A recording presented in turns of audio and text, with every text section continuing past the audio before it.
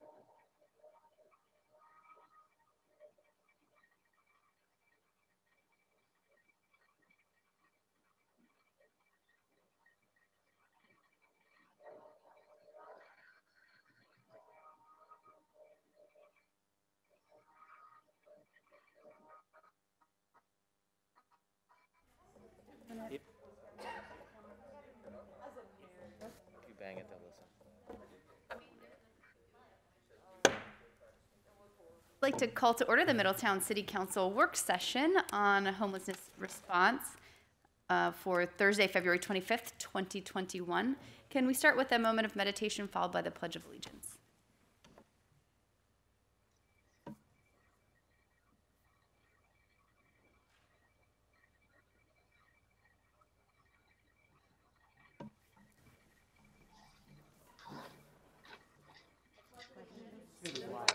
of the United States of America, and to the republic for which it stands, one nation, under God, indivisible, with liberty and justice for all. Ms. Skank, will you please call the roll for us? Ms. Vitori, Here. Ms. Nenni, Here. Mr. Moon, Here. Mr. Mulligan, Here. Mayor Condrey. Here. Okay, uh, Ms. Cohen, do you plan to kind of run the show for I would love us? to help facilitate if I may. Okay, great, thank you. Thank you all for being here today. Um, wanted to give you a brief idea of what I hope to accomplish. Um, first, let's start with a few introductions. You're going to be hearing today fir- first from myself um, discussing what we get to the scope of the homelessness concerns in Middletown. And then I asked some extra agencies to be here to help give you their perspective and what they've seen in their respective um, jobs and expertise areas. Um, you're going to be hearing first, uh, excuse me, I believe from Chief Birk and be able to speak on behalf of Middletown Police Department. Um, Steve Longworth is here, and I believe we'll be joined by Judge Sherron if he's able to later um, about Middletown Municipal Court and what they've seen in the um, defendants in the courtroom. Uh, we also have Mindy Muller here of the Butler County Homeless Coalition to discuss what their um, organization does. Uh, we also have Brandy Slavens and representatives from Access Counseling um, who have been working here um, doing counseling, but also working on an engagement day center in town at the Gathering Church, and they'll be here to talk about their experience. And then we have Victoria Hensley of One City for Recovery, um, who, if we choose to move forward with the MOU, will be um, the person who is going to be working in Middletown. Um, so that's a bit of where we want to go, who's here today and where we want to go. Um, prior to getting started, uh, just want a few things. This issue first arose in two, the fall of 2019 um, with a discussion about homeless people who were congregating. At that time, it was particularly um, related to the downtown business district. Um, there was, the, your microphone is really far from you, and I'm just wondering for records purposes, might be helpful. Thank you. usually I speak loudly enough, but I guess the mask will do it. Thank you. Thank you. Um, so the concern at the time was um, homelessness congregating downtown, but also a concern about um, if persons were actually from Middletown or whether this was a problem of other people being brought to the area.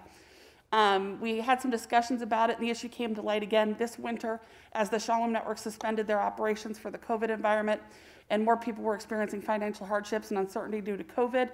Um, and there's been some increasing concerns of homelessness in the area. Sorry, we first had a workshop on it in 2018, just to circle back a little on how long we've been talking about this.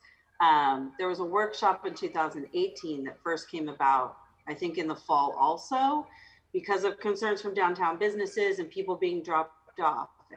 Okay, I, apo- I apologize. I left that off. around Here. in the fall. I apologize. I left that off of here. We'll make that note.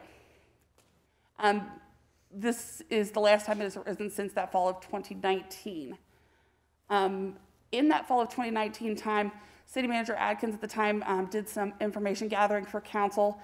Uh, Mr. Mulligan did ask if we could take some time today to um, review that last set of information. So what I have next is some of the report that was presented to council on October of 2019. I believe, Mr. Mulligan, if you'd like to um, take over from this point and you let me know when you'd like me to move slides forward. Certainly. Yeah, thank you for, um, I, I, I know we have some new council members and it's important to figure out, um, you know, some background pieces. And this snapshot in time occurred October, um, of 2019.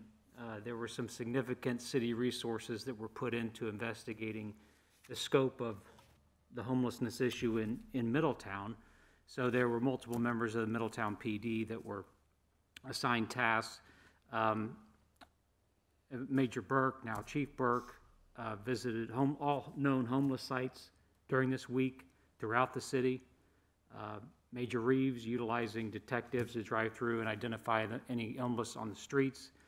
Um, Nuisance statutes were, uh, were dealt with through Major Warwick, Major Hood, possibility of using jail inmates, inmates to come downtown to clean up uh, any areas, homeless centers, uh, where they're congregating. Next slide, please. So through all of that, and again, this important, through this eight days of patrol canvassing, uh, our police department identified 16 homeless people located throughout the city. 16 homeless people located throughout the city. So we knew, we do need to keep this in context of a city of 48,000 people, the, the, uh, the- the incidence of homelessness. Now, that's not to say that I'm trying to minimize this issue. If a business owner or a homeowner feels that he or she is uh, threatened or feels unsafe because of a homeless visitor or- or theft or, or whatever the the situation might be, that's not minimal. That's not a small issue. That, that goes right to the heart of what we are to provide as a city, uh, safety and security. And if, and if our residents and business owners don't feel safe, even if it is just 16 people or fewer at any given time, um, that, that's a problem, and I'm glad we're, we're talking about it honestly, and I, I love having the, the dialogue with, with agencies outside our jurisdiction as well. You can see from this report from October of 19, uh, about half were Middletown residents, um, and then others were from outside of our city, and we're not sure where, where some of them came from. Next slide, please. So this was the, um, report of calls for service for the first, we'll call it the first nine months of 2019. 46 calls during that nine-month period of 2019, 17 in the downtown or Main Street district. Um, And I, I think this goes to, I think what the prior city manager, his frustration was, he can only deal with a problem if, if it's, if it's trickling up to him and he's aware of it. So 46 calls over the course of nine months, it's not, it's not zero, it is, it's something. Um, And I think our, our police can only operate as they are informed of these issues. So if, if people, if, if business owners or homeowners are dealing with, with homelessness issues, they need to report them to the city, to the police, and, you know, get this into where it's a quantifiable number. Uh, Next slide, please. Um, This is just a, uh, letter, or an email that, that Mr. Adkins sent out to downtown business owners, next slide, please, soliciting service, or soliciting uh, feedback, calls for service, anything, uh, video or, or or photographs, or anything that would be helpful to the police department to identify uh, homeless behavior, uh, also to identify if there are other jurisdictions who are dropping off homeless in Middletown, uh, how can we deal with that and quantify that? Next slide, please. Uh, This is one that where uh, the former location of Hope House on, on South Main Street, not a random um, occurrence. This was all done by the book, I believe, where a Hamilton, um, a Hamilton labeled police car was dropping off someone, some resident at Hope House. Next slide, please. Um, This is just, I think, vacant housing. Again, vacant housing is something that, that is a magnet for homelessness. So we just, that, that's part of our toolbox. We have to be careful about letting um, residences or, or or vacant buildings, commercial or residential, fall into disrepair and create that uh, situation. Next slide, please. Um, So this is, uh, again, I, I don't, I don't have Mr. Adkins's notes related to this, to this video, but to this slide deck, but um, if you would go to the next one, please. Uh, We can skip this one. Skip. Skip. Um, The day shelter was thrown out as a possibility. At that point, council, I think, pretty much rejected it. Um, The consensus was to reject it because we felt like we had had uh, put adequate services in, you know, having two homeless shelters in Middletown, um, and adequate uh, agencies supporting that we did not want to do a standalone day shelter. Um, If anybody else, Mr. Moon, if you have different recollections, or Ms. Torrey, I have a few thoughts. First of all, I really don't want to go back through this presentation because I found it to be littered with problems. I think the first of which, I'm just going to mention two. One, anybody who works in town knows there was more than one homeless person. And I talked to many people that were involved with the data collection And I think everyone agreed that 16 homeless people in the entire city of Middletown was not probably an accurate number. Two, the reason for the low tags, this is just another point to discuss. The reason there were so many calls that were because there is no tag for homelessness. So when people call, because my husband and I probably called 17 times in that time period, which is why I know that number's wrong. And when I dug deeper into it, there is no tag in our system when you call 911 or when you call whichever number that they put homeless issue. They put disturbing the peace. They put all these different tags on it. So these very low numbers, in my opinion, were kind of intended to be that way for other reasons. So I just want to make sure we're clear on that. And in terms of the day shelter, the last thing I'll say is that we talked about trying to work with the county um, to see if there was something we could do more collaboratively in Butler County. So after this slideshow, I think is when I reached out to Cindy Carpenter and met with her. So I don't think we were against a day shelter, maybe, yes, Middletown, but I think we all realize the value of a day shelter. Perhaps if we could do it with the county in some location that served larger Butler and Hamilton issued places like ours.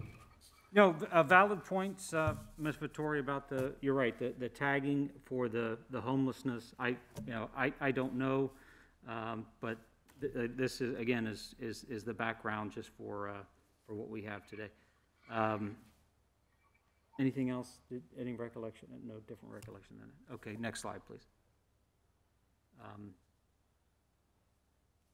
So this, this again, um, was prior to the groundbreaking and the, and the building of the Hope House on, um, Grove Street.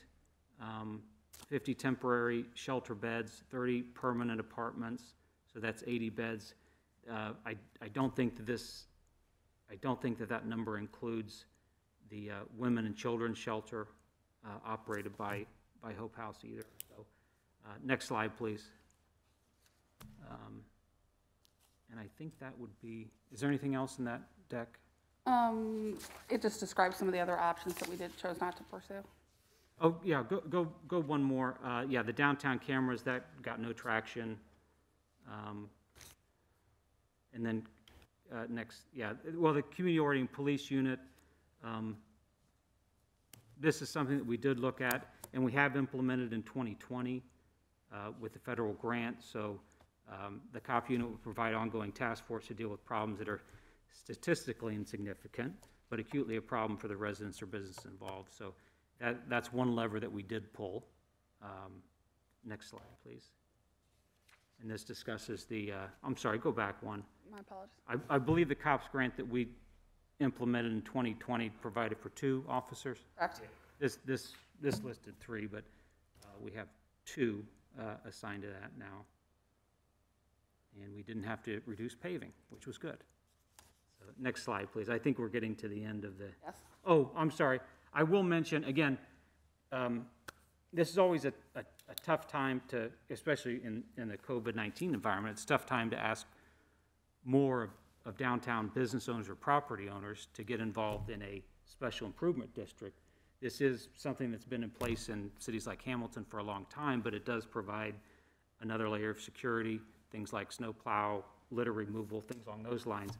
But it does come at a cost to the business owners, the property owners, because um, this will be a way to fund that type of thing if we felt like it was important. Again, I don't, based on my recent conversations with Downtown Middletown Incorporated, I don't know that there's an appetite for this right now, but another tool in the toolbox perhaps down the road. Next slide. Okay, and then, yeah, so definitely some questions unanswered. So I hope that was helpful just to walk down memory lane a little bit and, and see what the, uh, what some of the issues were not that long ago. Thank you. I appreciated the requests, and I was also able to review them ahead of time, which was helpful, so thank you. Appreciate that.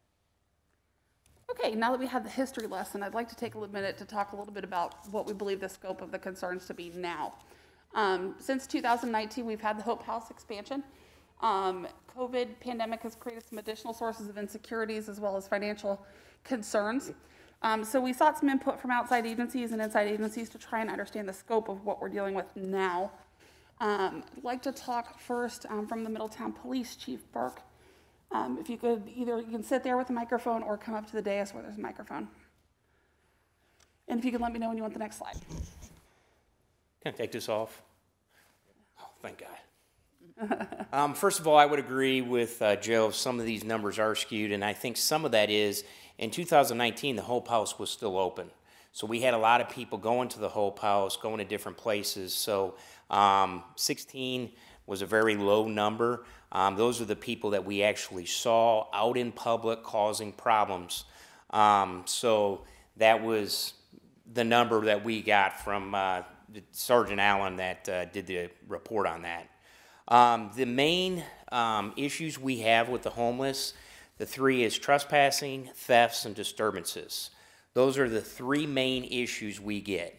So what we did is we went through our CAD system and we put homeless in, we typed in homeless, and these are all the calls that we've received for homeless. These are text messages, and this is from 2018 on, and it picks up the word homeless.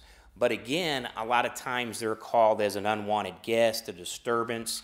So we put at large, so the officer may not put homeless down, so we may not be getting all the data that we need. Um, so if you can flip the next slide, we have found several uh, homeless shelters throughout the city. Um, 400 block of Curtis Street, right past the dollar, right behind the um, structures on the right-hand side. Whenever you see a tree line, there's a homeless, there's, there's a shelter like a homeless camp right in there. Titus Avenue, the width line between 20 or 3201 and 3203. Um, Mayfield Apartments, um, Amanda School, um, Commerce Drive. So if you take Commerce Drive to Hook Field, so you take Com or uh, yeah, Commerce to Hook right there, you have some issues there. There's a big um, tree line right there, right by the uh, path, the bike path, and you have a large, significant number of people because they go in hiding when it's cold. There's trees in there, they can build camps in there, and we're now getting calls from Hook Drive that people are walking around in there disturbing to their businesses and stuff. So that is a concern. Uh, fire headquarters, Goldman Park, and the Wood Line. Um, Blue Ball, uh, Terry Drive is another one. Um, behind Wilbraham Apartments there, there's a huge tree line by the bike path. There's another camp there. Uh, Smith Park, we catch them in the woods. We catch them sleeping in Smith Park. River, uh, Miami River Park, they go back there. Um, there's several commons we see them. There's several areas in the air, uh, in throughout Middletown that we see these camps and these individuals coming together, and the number has increased because of COVID. Middletown is known for services to help them. Um, we have the needle exchange program, we have counseling, we have food banks for them, um, we have shelters. So, a lot of times, um, Middletown is known to help and give those services to needy people. Um, just uh, a couple days ago, we had Franklin actually dropping off people at 1300 Gerard there um, without contacting them, dropping females off, knocking on the door, and leaving. So here's another case of someone homeless in another city. What are they taking them? They're taking them to Middletown. We contacted Franklin and said, You can't do this. So we're, we're still dealing with that issue on a regular basis. Not only that, but we, uh, you can flip it one more slide for me.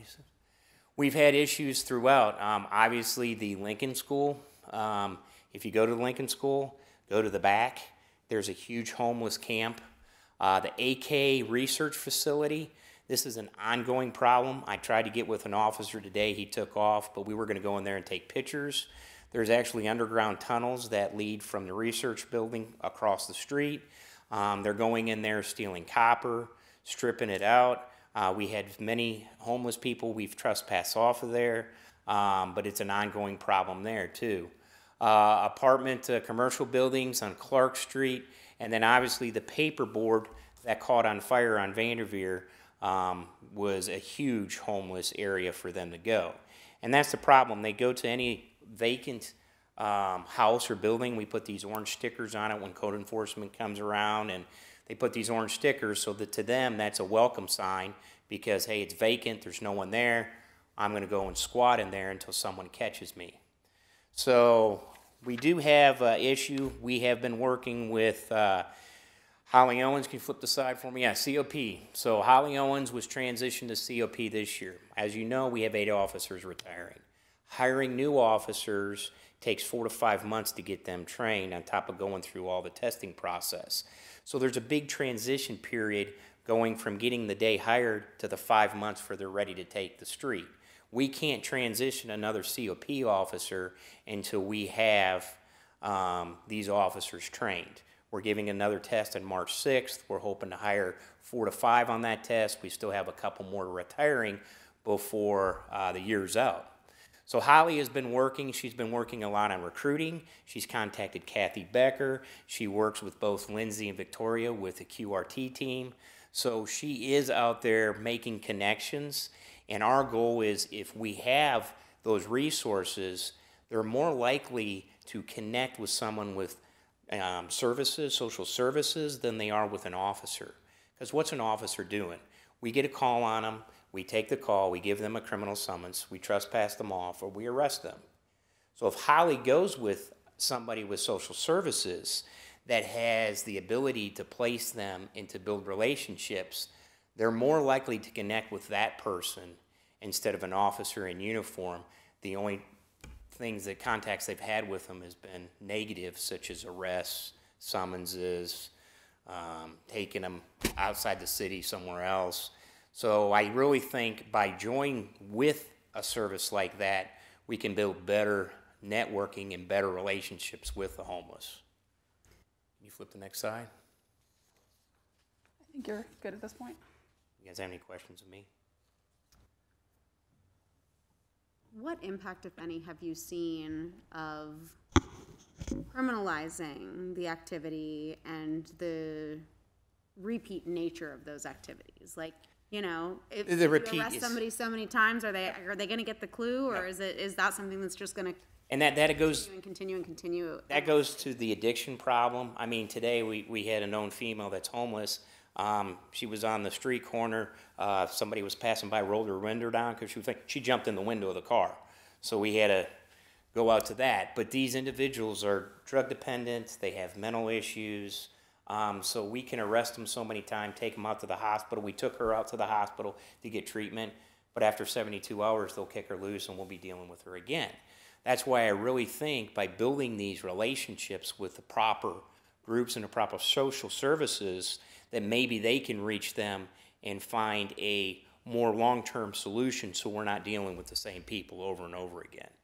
So, if there was a situation where we had a partnership, in that situation, how would that how would that particular situation be dealt with differently if we moved forward with this program? Well, if it was a mental health issue, which this case is a mental health, probably addiction on top of that, Kathy Becker um, would be the person we would contact. Kathy would have resources. She would get her evaluated. She would find a more long-term treatment than Middletown Atrium that holds them for 24 hours to 72 hours.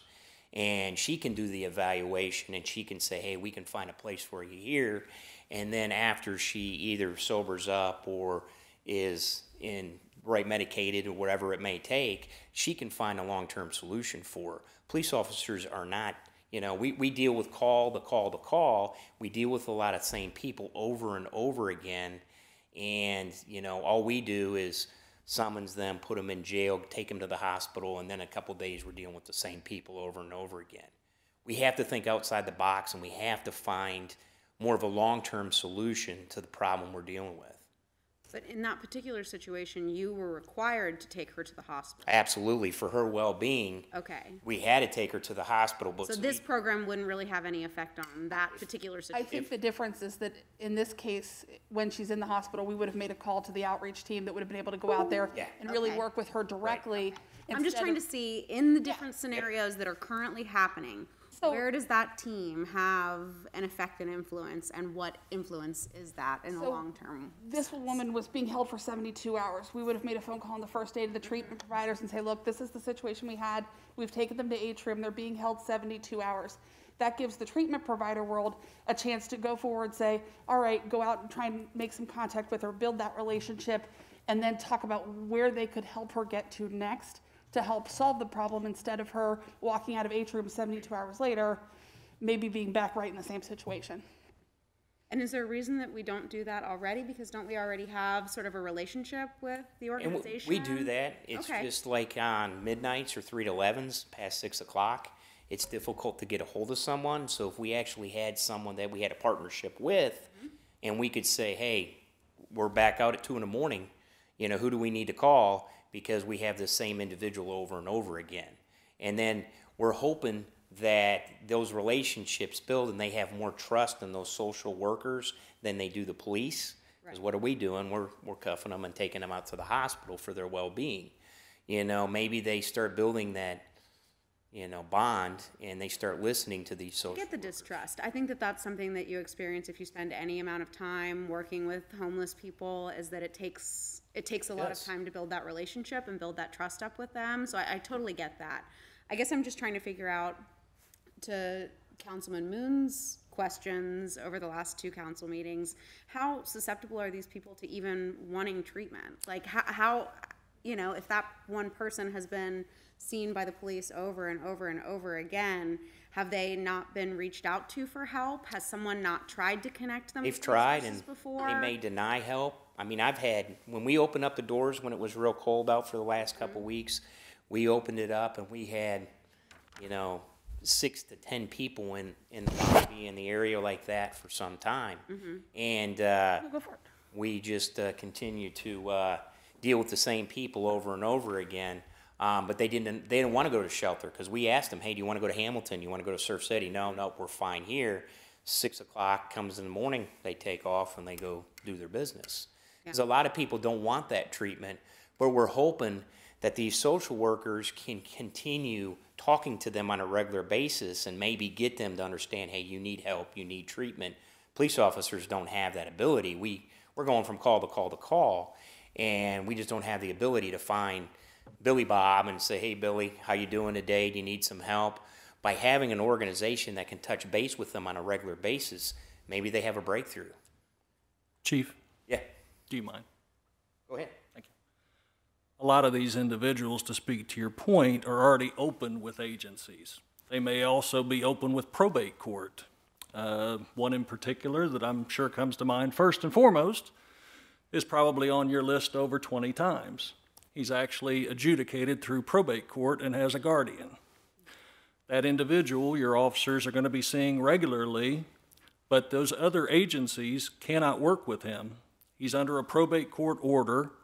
He's supposed to be working with agency A, and the individual, when they come across him, has to be redirected back to that agency per the probate court's order. So some of these that they're encountering, probably the vast majority of them, whether it is mental health issues or whether it is substance abuse, are probably open with all the different agencies that you're going to hear from today and more. So having some type of resource for the officer to simply deal with the situation, but also be able to put them back in contact and reinforce their existing agency utilage is what's important with them. And to speak to your other question, if I may, and I'm jumping to a little different part of the presentation here. In my presentation, we'll talk about the habitual offender and what the appropriate action is from the court's side of it. So, sorry, didn't mean to interrupt you, No, Chief. Thanks for the help. I'm just trying to gather Yeah, as much Yeah. information absolutely. as I understand. possible to see the whole picture. Yep. And I also, we'll have some time at the end of this to have some um, general discussion, because I think a lot of these questions overlap between the treatment providers as well as some of the um, in-house service providers. So I think those are also some good questions to ask at the end when we're talking and having more of a free discussion where everyone can bop in, because I'm sure these ladies back here are all saying, I got an answer. Kathy's jumping up and down back there. Um, So at the end, I, I hope we can get those kind of questions through some free discussion. Sure. Guys have anything else for me? Yeah, can I ask, I don't, you- you're not gonna know the answer probably, but if you do, great. Uh, who currently pays for the services, the social services for these homeless individuals? I mean, Kathy's gonna, okay, so if you wanna get to that when you, you guys speak, that would be great. You don't have to answer at the moment. I know when we do HRT or quick response team now, that is paid through from a grant that the fire department received. It pays for the officers and pays for the services of the quick response team. So that's all funded by that. Okay. And at some point, I'd be curious to know from the providers if they have any semblance of the percentage of success rate, um, basically turning someone who's homeless into not anymore. So if that's available, that would be great. I know that's not you. Not me. Anything else?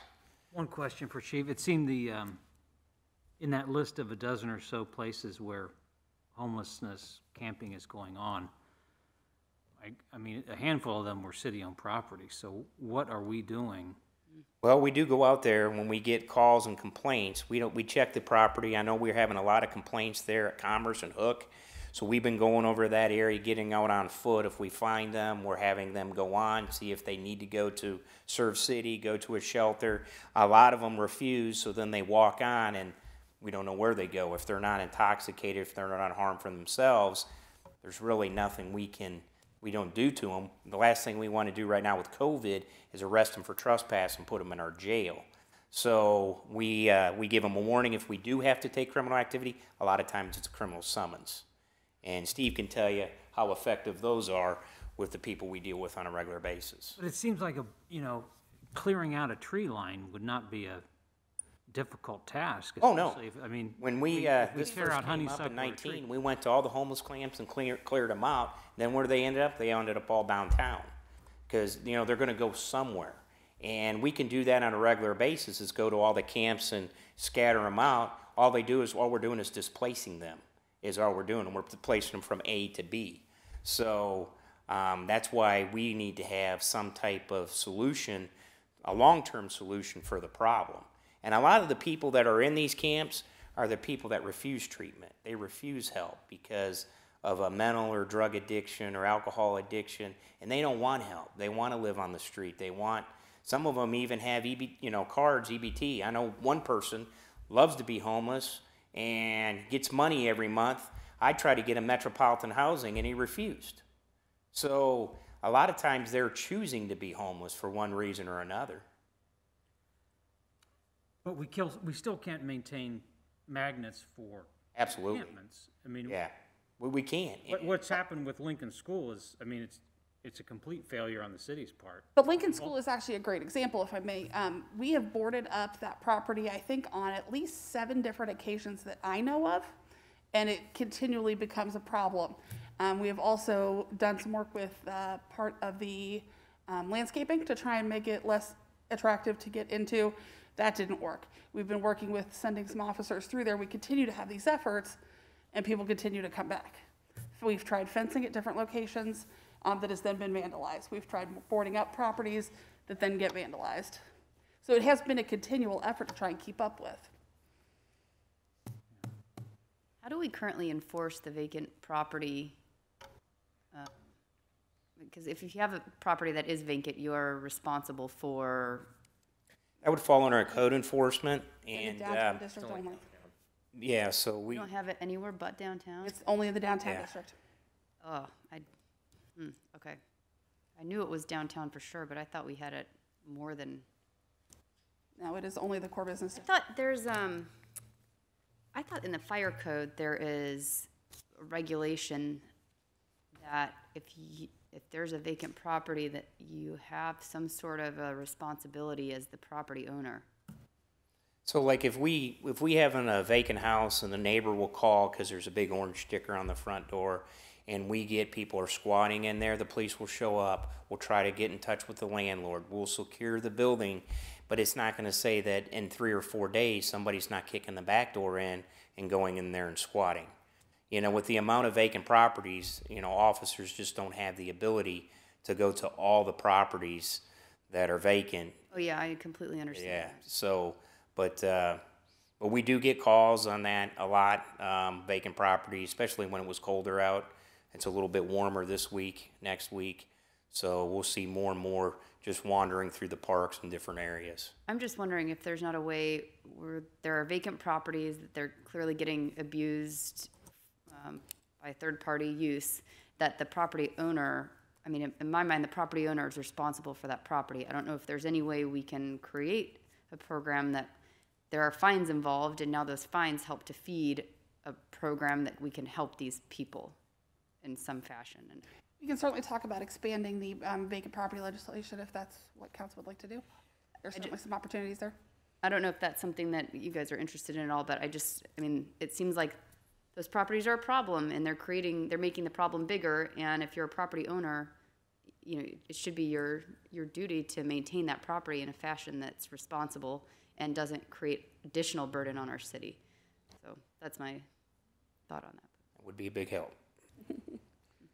All right. And I think there was some resistance at first of registering those properties downtown for the vacant property registration, because that's what it requires them to, they, they had to, rec- uh, register those properties as vacant, and that way we were aware of, that they were vacant and all of that, so I think, you know, anytime you get into that, there's gonna be a little bit of a conversation that we would have to have with Oh, property sure, owners yeah. in town, and that would be a, a big issue to, to get into, but, um, it's definitely something that I think we've talked about before. I mean, vacant properties are a bigger problem than just housing trespassers, right? I mean, overall, the blight that it creates is also an issue, so. Okay? Thank you. All right. Thank you. Sorry for being the first speaker. You got a lot of extra questions.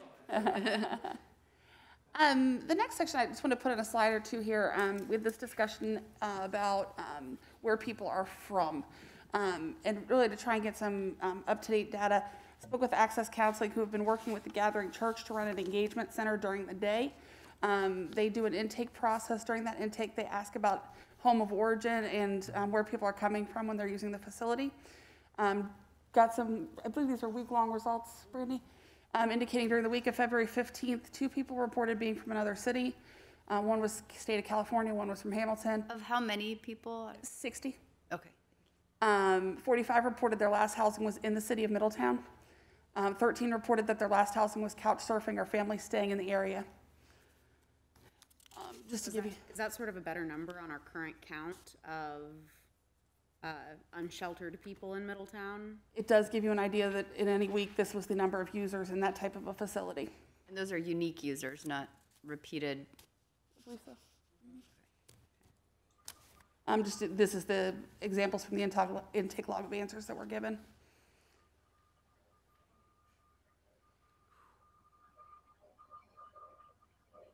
So while I think at any given point in time, it's hard to put a count on people, but we try to look to some of these situations to figure out, um, where we're getting people in the amount that are in town.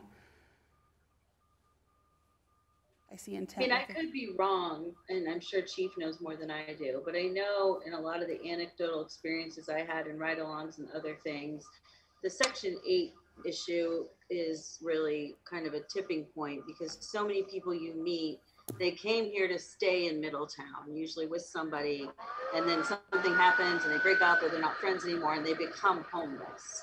So I think we can't overlook the fact that all of our section eight and that large number of housing that's out of proportion is somewhat the cause for how some of these people get here and then become homeless. And again, all this will give you is what they've reported to Access Counseling, so it gives you a, sh- a shot of what we have, although I don't know if anything's gonna be hundred percent accurate. I think this does give you some idea of what was reported. Thank you for the effort in collecting this. This is definitely helpful. All thanks to Access for giving it to us. Um, the next group we've sought from, input from was, um, the Middletown Municipal Court.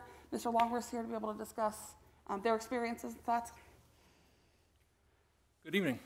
First of all, I'd like to um, clarify, for those that don't know, Judge Sherron just had shoulder surgery, and he is currently in physical therapy. So he was trying to make it here, but didn't know if he'd make it in time or not, but I do have his notes for you. Obviously, the court is the place of last resort for the homeless population. We are obviously not the appropriate place for the homeless population getting to the root cause, all the other issues that you're talking about are much better options with the homeless. But when they do end up in the court, you were asking about some of the numbers and so forth. Judge Sherron has been seeing an increase in the criminal trespass section. 64212 is the local ordinance for the criminal trespass section. A lot of these are homeless individuals that are squatting, coming into a place where they're not supposed to be, what have you wanted to point out, and again, these are just to give you some numbers, speaking specifically to Ms. Vitori's question of trying to get some actual numbers that, that might be more reflective. Of the 21, or I'm sorry, 21 of these cases actually have an at-large listed as their address. That's highly unusual. When somebody's arrested, they come to the police department, they're booked in, they list their addresses at large, it's a stagnant data point. In other words, it doesn't get changed later on. For the court, that's a constantly updated field. What that means is when somebody goes through courts adjudicated and so forth, generally speaking, if they want a payment plan or they want services or whatever else, they have to give us an address so we know how to contact them. So they'll give us a friend, a relative, whoever. So to have 21 out of those cases that cannot come up with anyone to give us an address for, that just kind of gives you some of the numbers of what we deal with. Excuse me. Court's approach, obviously, again, this is after they've ended up in court, so they've, they've been interactive with the police and other agencies and such, but the court has agencies embedded in the courtroom to provide mental health, substance abuse, and other service information at their initial arraignment or some other point in the case that may be appropriate. In other words, if we have somebody that's truly homeless, identifies as homeless in the courtroom, we can have somebody speak with them right then and there. That's every Monday, Wednesday, and Friday when we run court. Those agencies we'll talk about a little bit later, but that's what we have. Then we go to, of course, your veterans. Your veterans have much better services available to them. We have a Veterans Treatment Court, it's a specialized docket from the Supreme Court. They meet approximately once a month. That includes actual representatives from the Dayton VA, the VJO, the Butler County Veterans Services Commission. And I wanted to take just a little piece there about their Housing Solutions Program. A gentleman by the name of Clarence does a wonderful job acting as kind of a resource for us for Holt, uh, Holt House, Holt Street. I guess I should call it by the right name, but I apologize. Sometimes it eludes me. So when we have a veteran that comes in and identifies they're homeless, we can get them services almost like that. As long as they have their proper documentation, are able to establish that they're eligible for services with the VA, we can make those contacts immediately. Reason I point that out is that doesn't obviously have to be just the court. Somebody comes across somebody on the street that's homeless and so forth, and they're a veteran, there's services that, that should be readily available to them if they have their proper documentation. In addition to that, we obviously then have the probation department's general services. When somebody's placed upon probation, they have uh, uh, all of our probation officers are master's level education with areas of specialties, whether those are uh, one of, I'm sorry, two of our individuals are chemical dependency counselors. The third one uh, specializes more in domestic abuse. But we have them to be able to support the local agencies and so forth for substance abuse, mental health, educational and vocational training, and locating appropriate housing. So that's kind of what we do once they've come into the court system with the homeless population and all other services. But to speak to what we were talking about earlier with repeat offenders, criminal trespass, for those of you that may not know, is fourth degree misdemeanor punishable by 30 days in the city uh, jail. We obviously don't seek to criminalize their homeless, uh, homelessness, but when an individual is a repeat offender, we do actually jail them. And while they're down there, we may make contact with them again and again and again during their incarceration to try to set them up with those services that they were resistant to at the beginning, to again try to engage them to take care of the underlying issue. Just wanted to simply advise that we, we do, when you have ignored the court's orders and continued in that behavior, we do, thanks to having a local jail, we do actually incarcerate. It's a very, very small population of these 185 cases that are habitual offenders. There's probably about six on this list of 185 that are habitual that will rise to that position. What is the typical outcome if someone is jailed for repeat offending? They'll probably are going to sit for 30 days unless while they're in there, when we have those conversations with them, they agree to finally engage in services. How often would you say that that happens? These six individuals probably never engage in services. Okay. They are a very small percentage, but they do exist. And unfortunately, they've worked their way through the different contacts and so forth, and there's not much else to do other than to punitively punish them. Also wanted to talk a little bit about, you know, the relationships that we have when you're talking about the SRT team and the other uh, interactions that kind of start this. We have a wonderful working relationships with a lot of the agencies that you're going to hear from today. In addition to the ones that are embedded in the courtroom, we have a weekly jail meeting in which we have all types of treatment agencies that come in and discuss with the court what we can do with those individuals. These would include the repeat offenders that we're talking about. Hey, we've tried six times to put them in. The last time was three days before his arrest. Here's what we've tried. This is the level of services they need, and this is what we recommend happens with them. We regularly work with Access Counseling, Community Behavioral Health, Genesis, Surgers, Transitional Living. I'm gonna screw those all up here if I don't slow down. Victoria and Lindsay, of course, with the Hope Line, and that's just to name a few. We will use any service provider that, that, you know, is licensed in the state of Ohio for their appropriate uh, care and attempt to get them in. As a side note to that, currently, in addition to the ones that are embedded in the court now, we have a waiting list of about a half a dozen agencies that want to get into the courtroom that we are currently not placing in there because of the current COVID issues and so forth, and still trying to create, trying to keep the population in the courtroom low. Other than that, I don't want to take anything away from the agencies that are here to speak, so I will wait till the end and be happy to address anything you'd like. Very good. Thank you. Do you have any sort of semblance about the percentage in general of veterans who come through? How many we serve in Veterans Court? Yeah, well, I mean specifically under the trespassing. I do not. I can see if we can take a look at that. We do keep, because the Veterans Treatment Court's a specialized docket, we do keep those records uh, separately from the generic ones that I ran you today. Okay, yeah, I'm just curious of the general population of homeless and um, the ones running into problems in the city. Uh, you know, how big of a percentage are veterans? Happy to try and get that number for you. Great, thanks. You're welcome. Another partner I wanted to make sure we touch base with was Hope House, because we certainly can't have this discussion without looking at how they're operating. Um, I spoke on the telephone with Tim Williams, who's the director at Hope House. He um, expressed his regrets. He had an appointment and was unable to be here this afternoon, um, but wanted to make sure that they're a part of this discussion and are actively excited about being able to engage in this discussion. Wanted to tell you a few things that he um, informed me of. Um, as we know, their new facility did open in 2020 for the men's shelter. It is designed for 50 shelter beds and 30 transitional apartments. They are working on um, providing a scope of services, so looking at everything from health needs to mental health treatment facility um, needs, and trying to um, look at the whole person as opposed to just, hey, here's a bed for an evening. Um, they have had issues like everybody else about building capacity during COVID concerns and being able to maintain proper social distancing.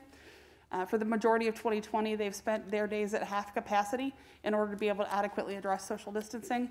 Um, they are now working back up slowly in headcount as they're able to do so. Um, Tim noted that they have been full for the majority of the year. He said they do have a couple of bed, beds available currently, um, but have spent the majority of the year completely full. Um, along with that, they run the Women and Children Shelter um, that has similar problems with headcount.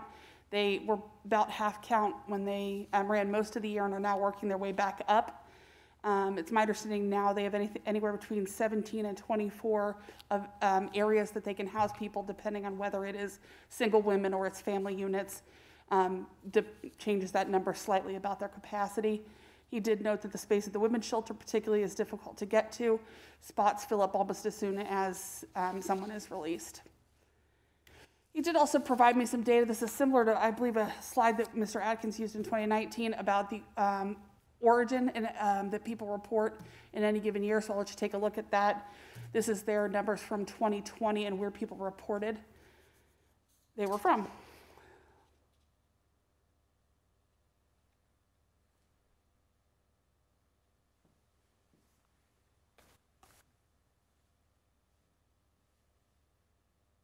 So am I reading this right, that less than half are from Middletown? Um, yes, you're looking at that number breakdown. If you're looking at the 128 and the 135, um, that's what they reported.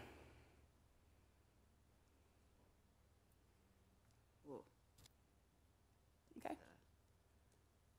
I think for them, some of that, I I don't want to put words in their mouth, but they have relationships with other counties that when people are going through things, that they would accept them in. Is that correct? I believe so, yes. I can't speak for them also, but I wanted to provide these numbers for you. Uh, these are specifically Hope House. Mm-hmm. Got it, yeah, that makes more sense. Um, the last thing they really were wanting to make sure we brought to attention that they were estimating, and this is an estimate, that out of 100 people, they estimated 75 to 80 have some form of substance abuse concerns when they're being evaluated. Um, that has been a huge concern from them in being able to adequately shelter people. Um, they were very excited about a new partnership with Genesis Treatment Center in Hamilton that does ambulatory detox and being able to help pe- wean people safely off of substance abuse issues so that they're more able to be addressing um, the underlying concerns that brought them to be homeless and being able to get them on a better path. Um, I think that also highlights the benefit of having partnerships with the treatment centers and the treatment providers to, in order to address this concern. Can you remind me, is Hope House have, is, is it a day center as well? No. Well, they have, they are running only, they are running 24/7 for the people that are there. It's not, everyone can just kind of walk in. So I, guess my question is, less than half of the people are from Middletown, yet during the day, all of them are released into our city? No, they stay at Hope House and they get services. Okay, that's what I'm getting at, okay, thank mm-hmm. you, appreciate it.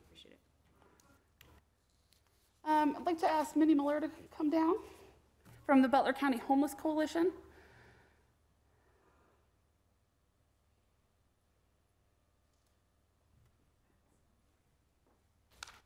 have some handouts, okay to give them to you? Some information that was Thank you.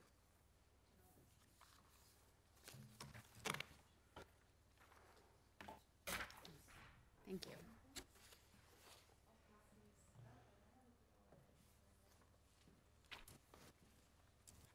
Um, just kind of here to speak, again, Mindy Muller, Butler County Housing and Homeless Coalition. Just wanted to give some overview of our coalition, um, appreciate some of the information that we've heard today, certainly not new information to us. Um, the coalition is not a service provider, we're a uh, collaborative of service providers that are operating in Butler County.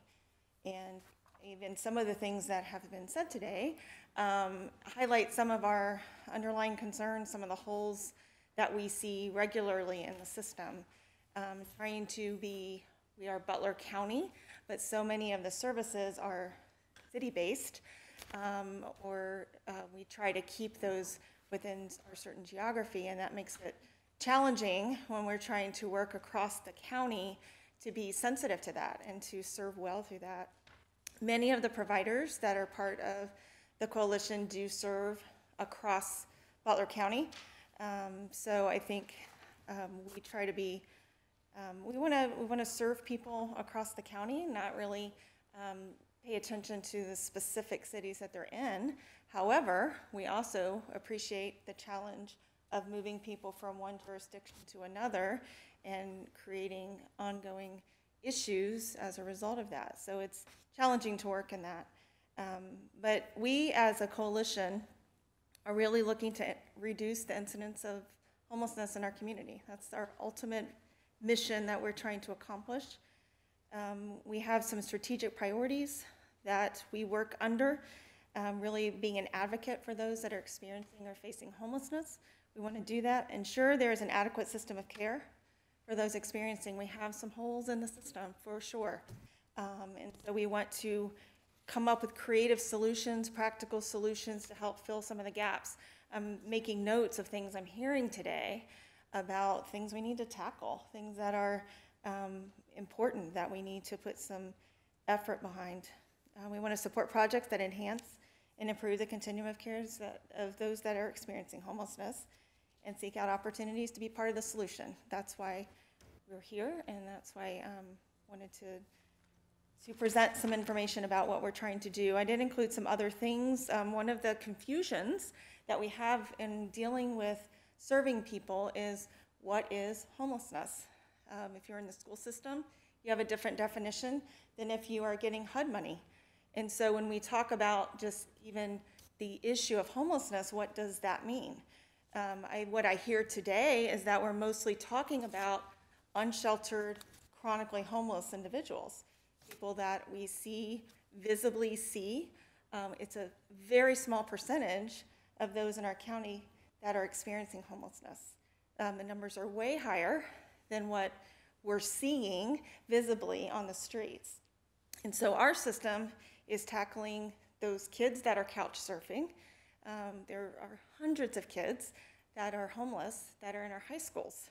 So we are dealing with issues and trying to help those kids and those students while we're also trying to tackle issues of those that are chronically homeless, that are unsheltered. And so our goal as a coalition is to make sure there's a system in place so that when someone decides they want help, we can help them.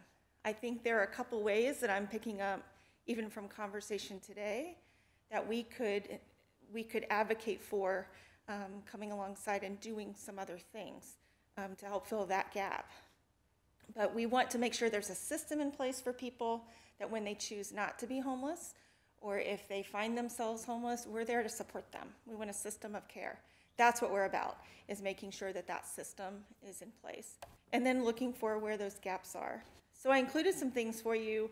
Um, one of the things that I think I'll point to your attention is uh, the policy on proof of residency, because this becomes an issue when we cross jurisdictions.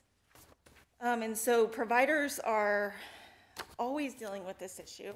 If they're not in our jurisdiction, can we help them? Um, what is residency when someone comes and they have nothing? They don't have a birth certificate, they don't have an ID. Um, how do we help them? And so we developed this policy um, to try and help identify what is residency. We recognize eh, clearly in this language, we can't help everybody outside of Butler County. And so when we hear about other jurisdictions bringing people into our county, we're already strapped with resources and we want to take care of our people that are here, but we can't extend that help to every everybody outside of our jurisdiction. So I, I understand that challenge. And so just trying to come up with what who are the people that we're charged with helping was something that we felt like we needed to do. So you can see kind of what our policy is on, on residency. Um, the next page has a snapshot of a community synopsis. Um, every January, HUD mandates a lot of the homeless dollars come down through HUD. And so HUD mandates that we do a point in time count. Um, it is, we all know that it is not accurate. It's way lower than what our numbers are, but they tell us how to do it, um, when to do it. Um, and so we have some numbers. They're not, they're not representing the full um, need for sure, but it is um, a number that is um, that we can use to inform, although it's not, we know it's way lower than what it actually should be. Um, but we do it the way that they tell us to do it. And so the last numbers that were recorded were in 2019. We did a count in 20 and we did a count in 21, but those haven't been verified. COVID kind of got in the way of the state um, releasing those numbers. But you can kind of see they don't. They've been pretty static. You can kind of see where those numbers are.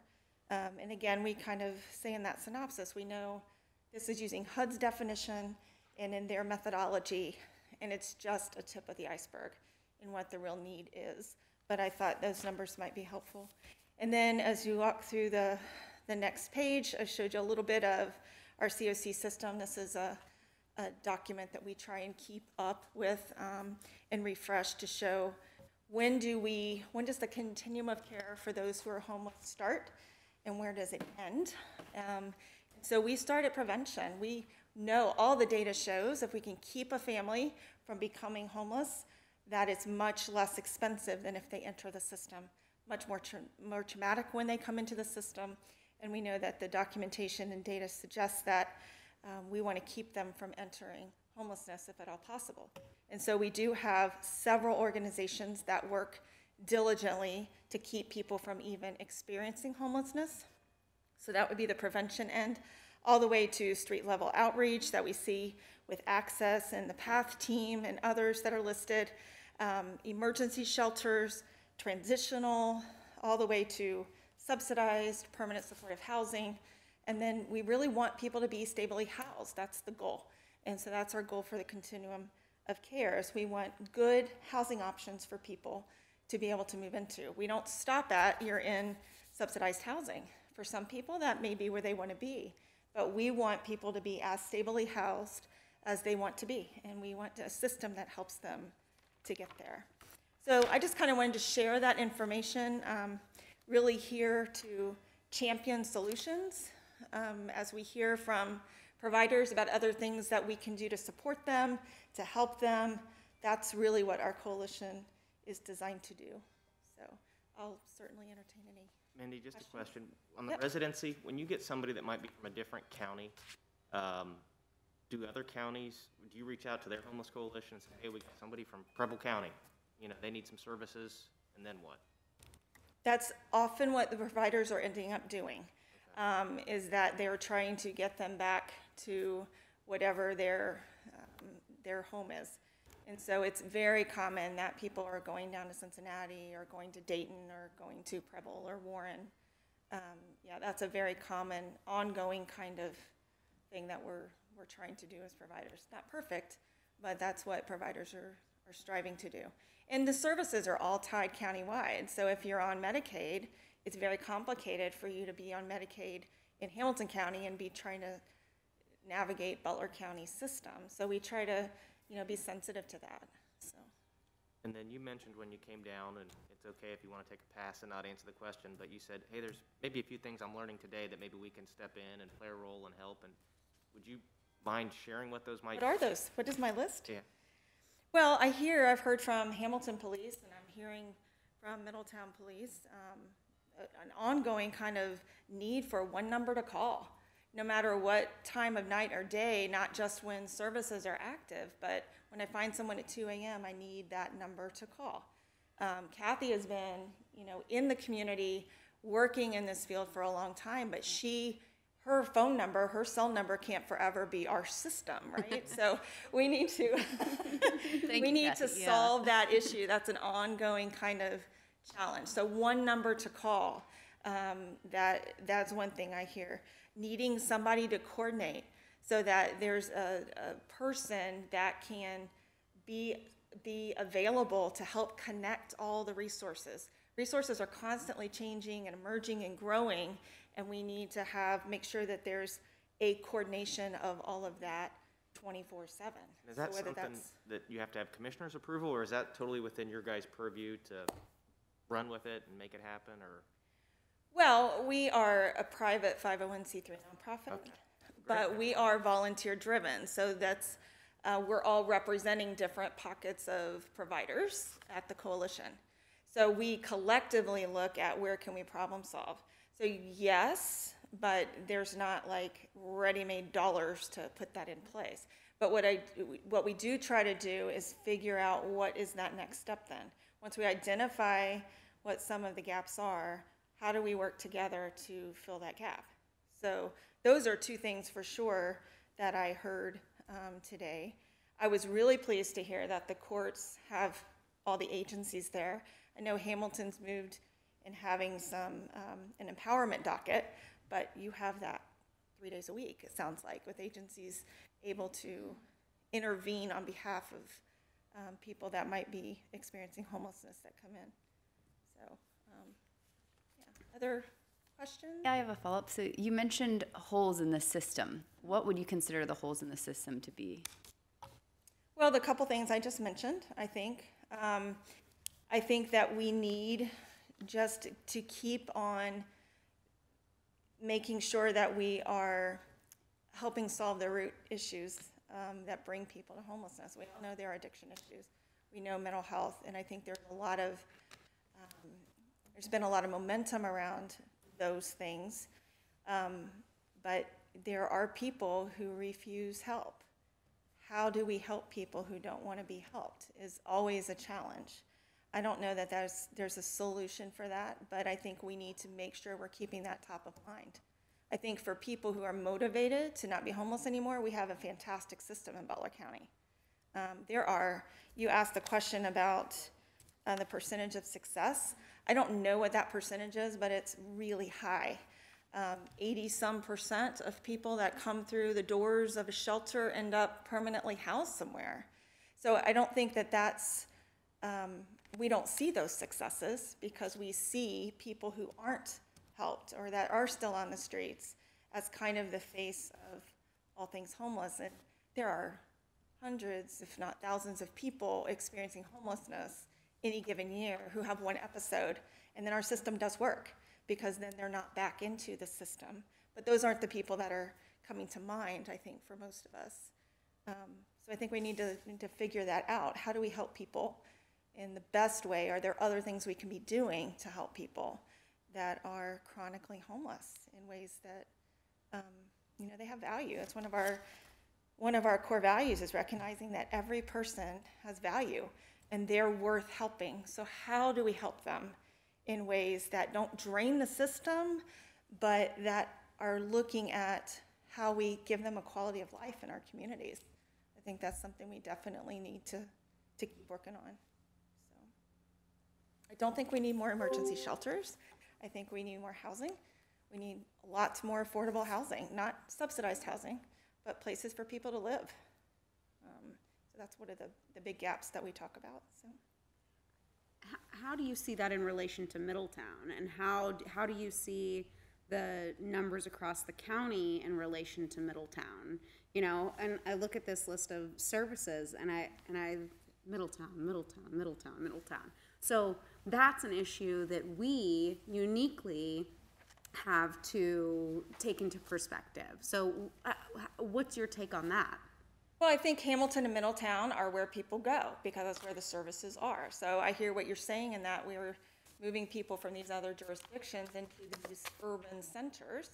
I don't know that we're going to get around that much, but I think we need to all recognize that doesn't necessarily mean they're Middletown folks or Hamilton folks, um, but those are where the services are. So I think that those two, I see them as very comparable in terms of the services being provided and probably the numbers of people that are um, from those communities. I do think the majority of people that are experiencing homelessness do come and originate from Middletown and Hamilton. But again, it's hard to get at that number because we're talking about a transient population. Um, it's very difficult to get hard, fast data about where people are coming from, where they even last lived sometimes. Um, but I would say Hamilton and Middletown have the majority of services, and that's why they seem to have um, show up on the reports as having the largest numbers. Yeah, I mean, Hard to get to that. It's tough, but uh, you know, you talk about the face of homelessness and seeing it on the streets, and there are places you see it, and there are places you don't. And as a community, trying to put their best foot forward, that's really challenging for us. I hear you. So, you know, the expectation that maybe Trenton and maybe Monroe might step up and have services is something that, you know, is hard to say, but is, you know, how, how many of these services are coming from those other smaller communities that can't not have any impact on the homeless numbers? So that, you know, that just, that's the challenge. And it's broader than that because a lot of your, your other service providers, your government providers are in those urban cores. And so it's more complicated than just homeless services. It's not its own system. Mm-hmm. It's part, it takes advantage of the other systems that are around. And so it's a bigger issue than just that, but having them at the table, talking about how do they enter this conversation, help provide resources. I'd love to be a part How of How do we get those people to the table to have this conversation with us as members of our broader community who are also as responsible as we are to help people? And maybe that's something that we can champion at the coalition and start to have those conversations. I would, I I'll be would love to see about that. something like that happen. Okay. Thank you. Yes.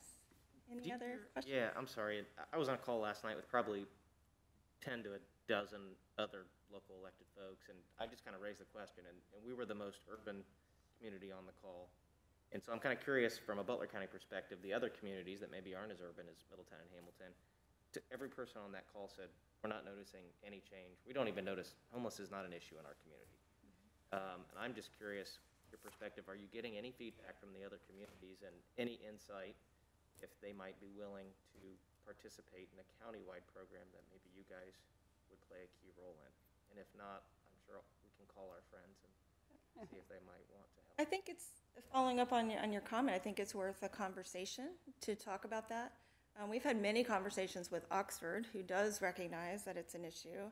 Um, and they are working in their little island, um, to try and uh, tackle some things, um, with, with issues of homelessness there.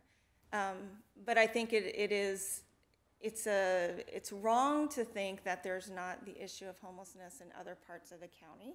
Although I do think that's largely the perspective, but it's because people find their way to these urban centers where their services are.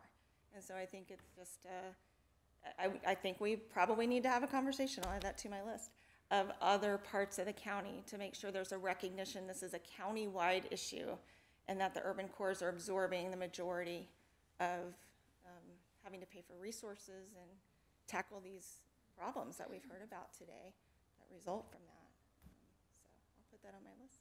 Thank you. And speaking of seats at the table, I know we have a lot of people sitting at the table tonight wanting to come up, so Yeah, let's see if we can. thank you for your time. Thank you so much, Mindy, appreciate it.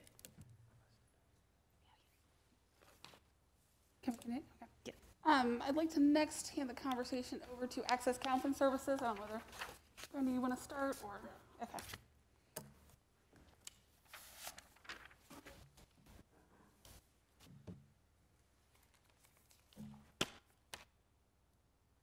I would like to go ahead and introduce my teammates that are here with us.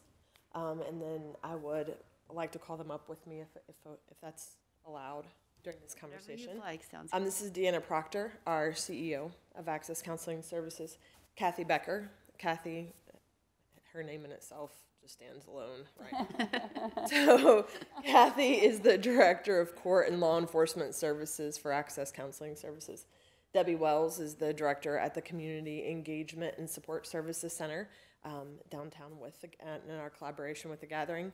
Um, Deanna Shores is here. Deanna is the Director of Community Case Management, and Scott Miller is our Director of Community Nursing with um, collaboration with Street Outreach and the Hope House.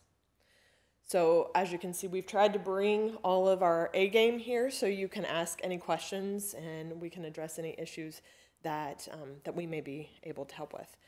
Um, with access, we, we started um, uh, probably, Debbie would say a really long time ago, but um, probably about two years ago in a conversation about homelessness after we went into a partnership with the Hope House. Some of the statistics and things that you were seeing, um, I, I think we would be remiss not to discuss the fact that we've been in a partnership with the Hope House now for um, a little bit over four years. We have uh, full-time therapists and full-time case managers, medical staff, psychiatrists, and nurses that work with the Hope House and in the Hope House every day. Um, Scott, that is his permanent home. He is there with our uh, local psychiatrist and working with everyone that comes through those doors. So when someone comes through the walks through the Hope House doors, they are seen by an access counselor for um, an assessment of their um, drug and alcohol use and their mental health use to see if they're going to um, create some stability in the home or if they need to be hospitalized for some reason. And then at that time, we would make the clinical decision whether they needed residential drug and alcohol treatment and make that referral with a community partner in Genesis down um, in Hamilton. So at um, at the Hope House, we do have great partnerships there. And then at the Women's Center, we also work there, and we also have the same psychiatrist, nursing staff, um, a team of case managers, and um, and therapists that work there. The Community Engagement and Support Center came from a partner because we had had such a successful partnership with the Hope House. The Community Engagement and Support Center came after um, a couple of years ago. Our um, businesses downtown had asked, were com- not complaining, but um, airing the grievances about the downtown um, um, loitering that was happening during the business days. And I believe Amy may have been in on, on one of those conversations about the um, downtown loitering. And when we left that that day, it was we felt a personal responsibility as an agency to do something. Um, we had already started in conversation on the county level with the Butler County Mental Health and Addiction Recovery Services Board on what we could do as a service provider um, at, at a county level. And so the county at that time, I believe I came and spoke to council about this a little bit about that um, during that time frame. At a county level, we had, um, I believe, Deanna, correct me if I'm wrong, two or three instances where we traveled um, to other counties within the state to look at a crisis intervention unit, what that would look like, what the cost would look like, and there were many conversations that were had about specifically the things that you're referring to now. And at that level, the, conversation was kind of tabled um, for fin- financial reasons, for um, conversations between the commissioners and the board, and so that conversation remains remained tabled. However, in Middletown, we continue to move forward with issues and concerns regarding the homelessness downtown. So, uh, from Access's standpoint, we saw these people, many of them were our clients, people that we had, um, our outreach team had met on the street, or we were seeing going in and out of the homeless shelters, or just folks that would find their way into one of our six locations here in Middletown. So we went to the gathering. Well, no, let me back up. The gathering came to us and said, We need help um, with our congregation. Um, the gathering has a very large congregation of um, folks that are in need of um, substance abuse or mental health treatment, and they came to us and asked if we would be willing to help. Thus, moving forward, creating a partnership that would allow us to be there to help serve their congregation. Also, allowing us to keep the doors open to um, have folks that were on on the streets to come in for services that they would need. Thus, that not really creating a day shelter per se, but an engagement center, a place where folks could come in and they could engage for services. So through that partnership, that continued to grow for an um, with the thought that we were having an engage, we would just have an engagement center. And then it grew to engagement and support services because we started connecting with other local agencies such as PATH, which was a which is a you know street homeless outreach. Then they could come in, TLC, and they could come in. I know Victoria and the and the QRT team has came in, and working with folks that were um, that were needing that connection with their treatment providers, we would be the open door where they could come in, they could see the individuals that maybe they had been missing for a couple of weeks, and we could also provide a warm cup of coffee for someone. When it was five degrees outside, we could stay open a little bit later. So maybe the, um, the warm environment would entice them to want to come in and receive some kind of services. Through that and through continued growth and partnership with our lo- local police department and our other partner agencies, we've been able to secure a, um, to be a part of securing a house grant. It's called House, which is a housing opportunities using supportive engagement. Um, through our Butler County Mental Health and Addiction Reco- Recovery Services Board with a goal of housing 10% of the individuals that come in to our engagement and support center. We are also partnering with some local job placement um, facilities that have worked incredibly well with us. Um, Debbie has worked in the um, homeless realm here in Middletown for a number of years, so has created some great partnership opportunities for folks as um, so when they come in, she knows exactly the people to contact and connect them with. Currently, our hours are from 10 a.m. to 6 p.m. Um, so we're we're not housing them. Um, they're coming in. When you they say our hours, are you talking about the gathering? access counseling services Access. at the gather. It's the At engagement gathering. center. Yes. So the gathering, and probably this clarity needs to happen. And thank you for saying that, Mayor. Is um, the gathering church per se is only there from I believe 8 a.m. maybe 9 a.m. on Sunday morning until 1:30 on Sunday afternoon. The other six days out of the week, Access Counseling Services is running our engagement and support services center out of that location. So I do have some numbers that I think will be very eye-opening and helpful to you. Um, again, I'm I'm just the voice here. These the team that we have here, they're the boots on the ground. They're the ones that do all the work. They're the ones that need all the recognition for the numbers and the work that we've been able to do and make the substantial difference that we have in a very short period of time.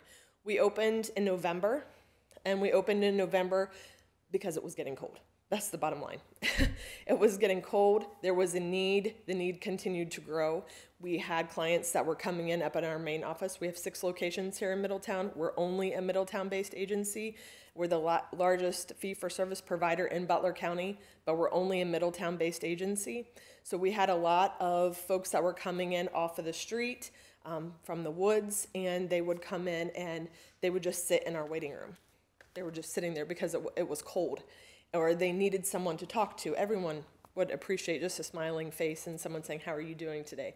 So when they came in and and started voicing their concern of what was going to happen in the wintertime, and I'm not going to be able to walk all the way from downtown up to Main to get the services, we realized that if we didn't react, that there may, would be a good chance that people would go extensive periods of time without getting the medication that they need or without seeing the therapist that they needed. So when we came into the partnership with the gathering, what it did was provide opportunity and removed boundaries for folks that were needing mental health and drug and addiction services and or connecting them with housing.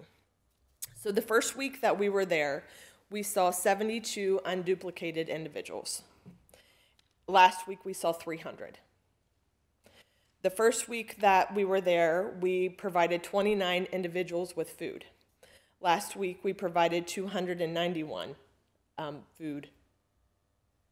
I believe those are lunches, correct, Debbie? Okay. Lunches for the day. Week one, we provided 21 showers. Week 15, uh, week 15, we provided 58 showers. The highest number that we've had on any day was 69 individuals. The lowest was four, but that was the first day we were open and we didn't tell anyone. But they still found their way there. We're averaging between 50 to 60 people a day currently. Again, 69 unduplicated individuals. 10 individuals have, um, have been connected with services outside of the city of Middletown. 37 individuals have applied for um, food stamps. 12 individuals have applied for Social Security. Four individuals have been reconnected with, with VA services, and six individuals have been housed with their own funds. How are they getting to you? I'm sorry? How are they getting to you? They're walking? Walking.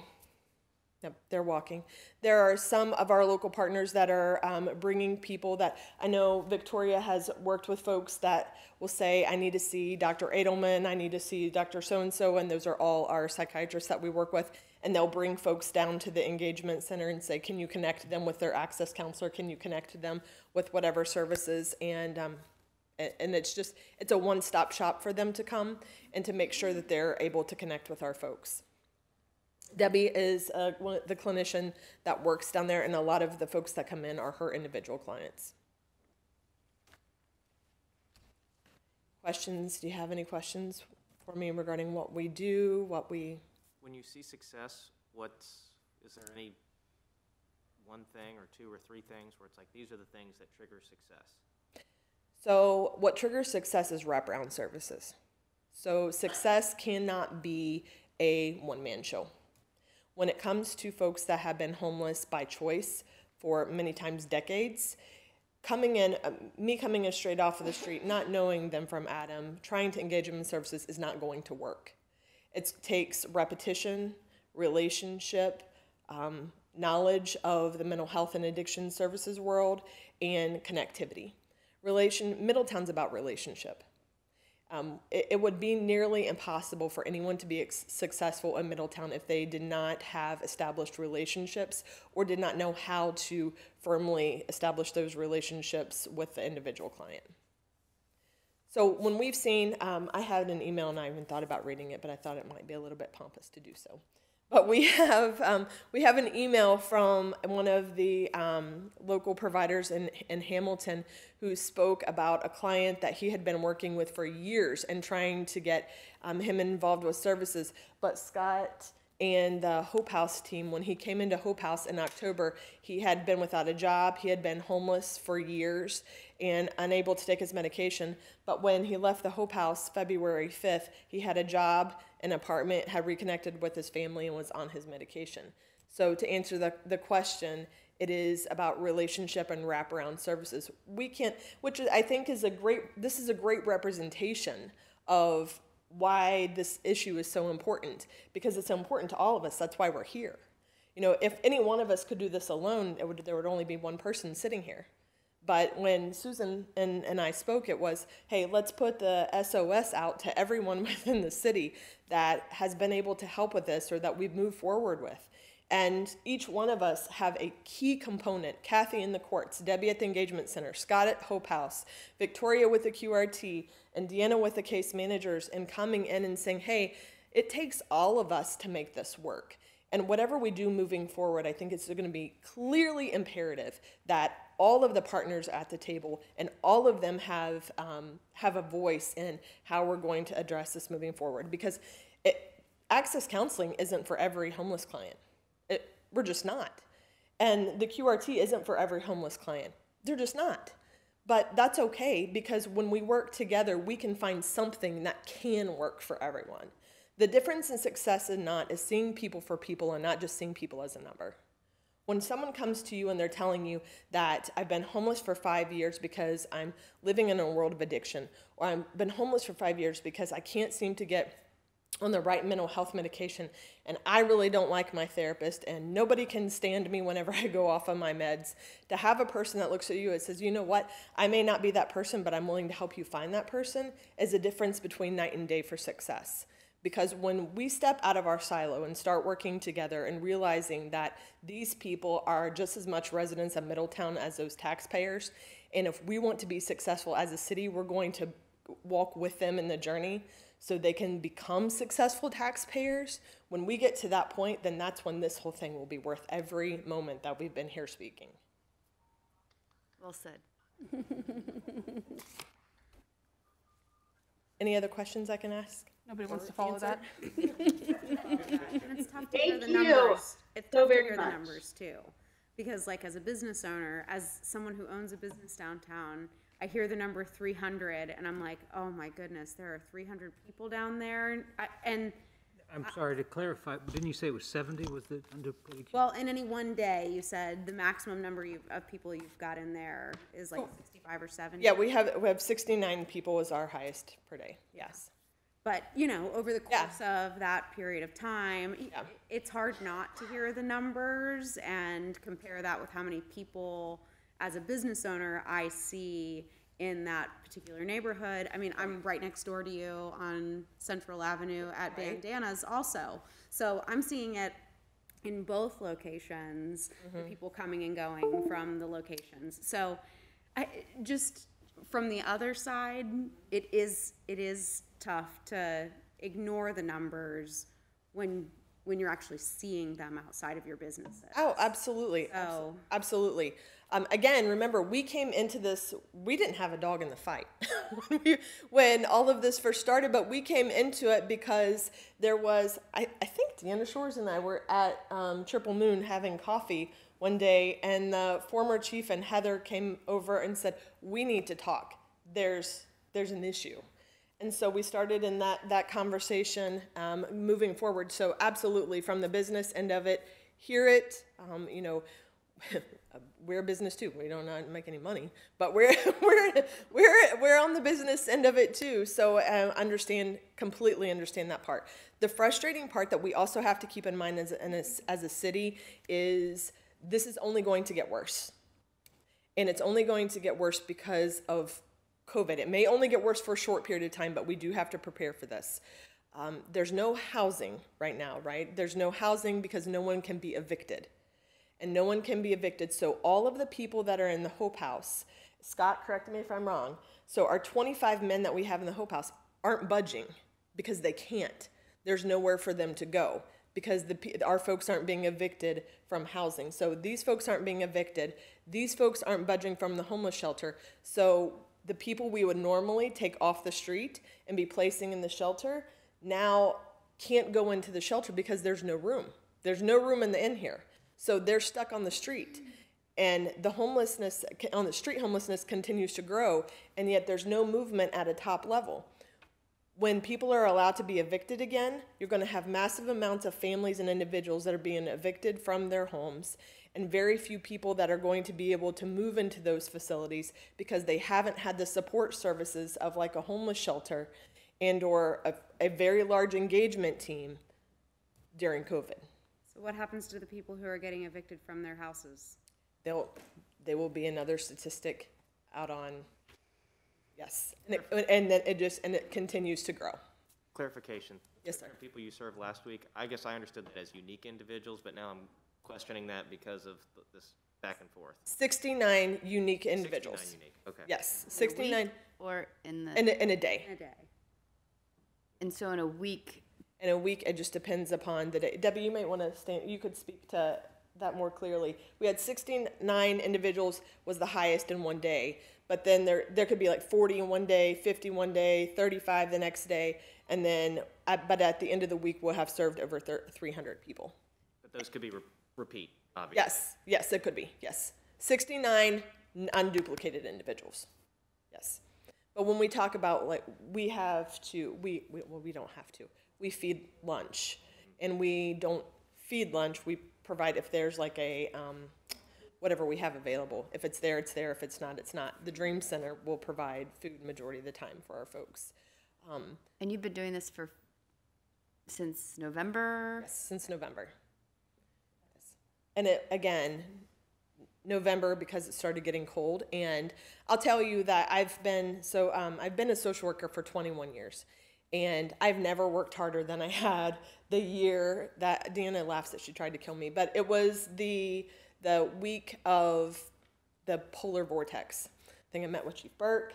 I met with Debbie. I've met with Kathy. I met with RTA, with Serve City, with Hamilton, with Hamilton officers, anyone um, begging for help because we knew that we had at least 25 individuals that were going to be out in a homeless camp, and it was going to be negative 10 with with no barriers to help protect them. And um, that's why I love the city, and that's why we've looked at, worked in the city for so long, is because our resources were able to come together to help those individuals and to provide that opportunity. But those are things that we want to try to um, to prohibit if at all possible. Just and and I realize that we can't force people into shelter. You just can't. Homelessness is not a crime. Um, it's not an arrestable offense. Some people can be choose to be homeless, but we want to provide opportunity opportunity for our middletonians that are here that are homeless opportunity for them to come in receive services maybe get a hot cup of coffee and have the opportunity to engage an opportunity to in, receive um, housing and employment If you had the ability to give a quick elevator pitch to someone who is interested in opening a business up next to the gathering, what would you say to them?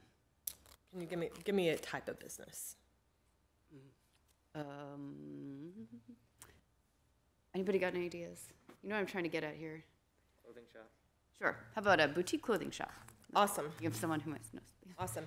So the best thing about opening a boutique clothing shop next to the engage arms the engagement center would be that we are going to be the place where all of your folks are going to go. You're not going to have to worry about the loitering because they're going to be here with us.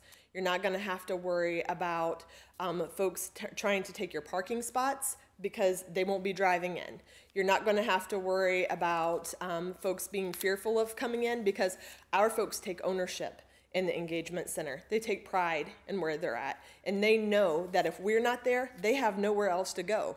So Debbie is their biggest advocate and they will protect her like there is no tomorrow. So if you can come in and you can put a clothing shop right next to us, what we can guarantee for you is that you're going to have people that are going to respect your business like they respect ours. Thank you. Because, you know, that's what, always the balance, right? And we appreciate everything you guys are doing, and so we're tasked with both sides of it, and Understood. really grateful. That's Understood. good. And by the way, if you want to write some marketing pieces for some of our downtown businesses, I'm sure they'll be reaching out to you. so. I just have one one more thought that keeps cycling for me is would you define uh, success as a, a decrease in the number of people making that cycle coming through, or or does that does that number of people cycling through the system continue to grow and continue to grow? And is there any way to control or try to control the growth of the circle? Do you see what i'm saying? Yeah, yeah. because because that's that's really i think the concern a concern for us Right. is that that you know the circle starts here and it's good and it's a good circle and then the circle gets a little bigger and we call it success and then the circle gets a little bit bigger and we call that success so you know is is reducing the circle success also and how do we do that Absolutely. Reducing the circle is success if that's the data that you're looking for. So what whatever me, whatever tools you're using to measure success, then that's what we're going to focus on. What the House and Engagement Grant that we have through the Butler County Mental Health and Addiction Recovery Services Board, I believe says 10% of the individuals that we see that come in that we will house them. So not only are you looking for jobs for some of those individuals, but we're looking for housing for them. So that's our target for this year, that we would decrease that number by 10%. So if we could continue to do that, if you could continue to set that goal as a house of to decrease the number of homeless individuals that come in that do not have their own residence, if we could decrease that by 10%, then that would be an obtainable um, number that we would that we would work towards. So if we had 300 people, it would be 30 people at the end of the year would be housed. That may not seem like a lot, but it but it really is when you're talking about you know taxes and property taxes, income taxes being um, taken off of those individuals. Sure. I just, I had Yeah. just had to address Well- it while we were talking about it because I feel like that's something that I think is important to a lot of people. Oh yeah, absolutely. So you know, we're in therapy. We always have the individual. What's your service plan? What are your goals? What are you working towards? So for us, with the strategic planning um, of the engagement center, goals that we have um, as an agency is that we would have 10% of the individuals that walked in the door would receive um, housing. 10% of the individuals that walked uh, in the door, an additional 10%, would receive um, services of some kind and that that would make it sustainable to where we could continue to do that and reevaluate the goals on a year-to-year basis. I appreciate all the work that you guys do. Thank you. I know Thank you. it's, it's something that goes thankless a lot of times, so thank you. They do great work. Thanks, guys. Thank you. We are going to move on to our last guest speaker of the day. Victoria Hensley is here from One City for Recovery. Uh, Victoria has some experience with our heroin response or our quick response team, um, and we approached them about the pilot program to expand those services to provide that one phone number that the police can call and uh, to provide some accountability and um, working for the city to be able to get some of those numbers and the data that we were looking for um, and be able to get some of the success that we've experienced with our QRT team um, in this arena as well. So I'm going to hand it over to Victoria. He also has the best mask of the day. I'm leaving for Miami on Monday, so I cannot wait. Um, I want to be very respectful of everybody's time because it is like 5:30. Um, just an overview um, is what. You might want to get a little bit closer to the microphone, only because I, I can't hear it picking you up, so I can hear you, but probably other people might not. Yeah, um, just an overview of uh, One City and the Hope Line, my experiences with um, the Middletown homelessness, and how one could proceed the pilot program. Uh, we've been uh, established since 2014. Um, we've been here locally in Middletown since 2016 with the Quick Response Team. Um, it started with the Heroin Response Team. So what that is is we go out weekly with police and fire um, and myself. It started originally with Lindsay um, in 2016. I joined the team in October um, 2017 and have been the full-time care coordinator here in Middletown. Um, you can go to the next slide. That's just us um, doing some community outreach here in Middletown. Um, we don't just go out on Tuesdays, that's our formal day to go out, um, but we do go out and um, try to reach individuals throughout the week. We also have um, social media accounts that we reach people because not everybody has, you know,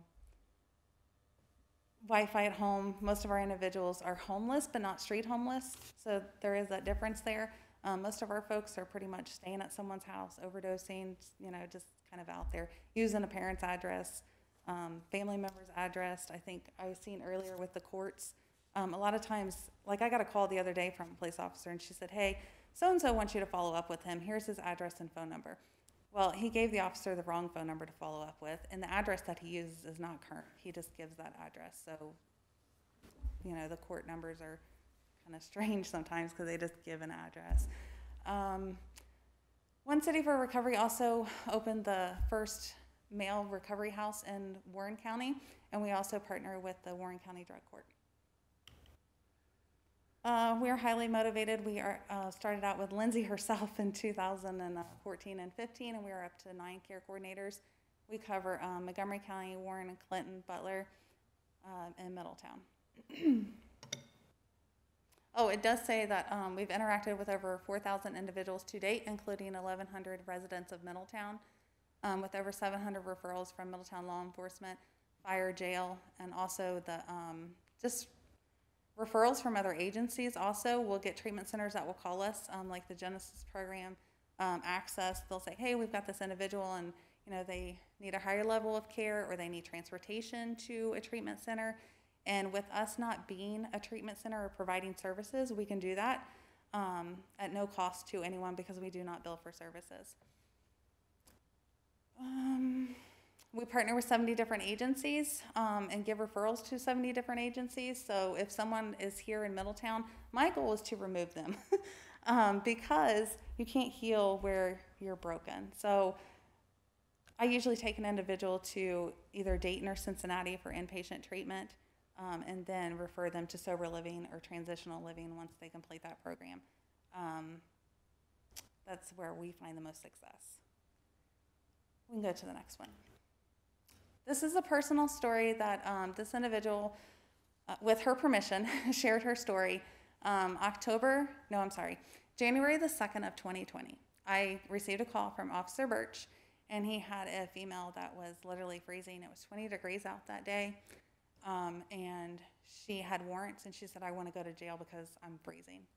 And he said, I'm not doing that. I'm going to call someone to get you some help. She was um, an active addiction, and she was also approximately 20 weeks pregnant.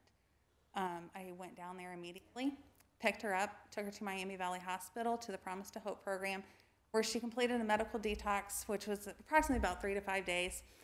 And in the meantime, I'm coordinating with First Step Home in Cincinnati, um, which is up to a 12 month program, to get her down there once she was detoxed and discharged from Miami Valley Hospital. I did. Brandy currently has 13 months of sobriety. She has her child in her custody. she didn't lose that child to the state. She has her own apartment. And to top it off, she is now paying Steve's office. Let's clarify. Let's not start those rumors. And the judge. She's paying her fines to the city of Middletown, y'all. like, that's awesome. That's the goal here. Um, we want everybody in this room wants people to return to some sort of normalcy, um, because these are daughters, brothers, sisters. I mean, these are someone's children, someone's parents, and that's the whole goal is just to help people, um, and we have to work together to get this end result.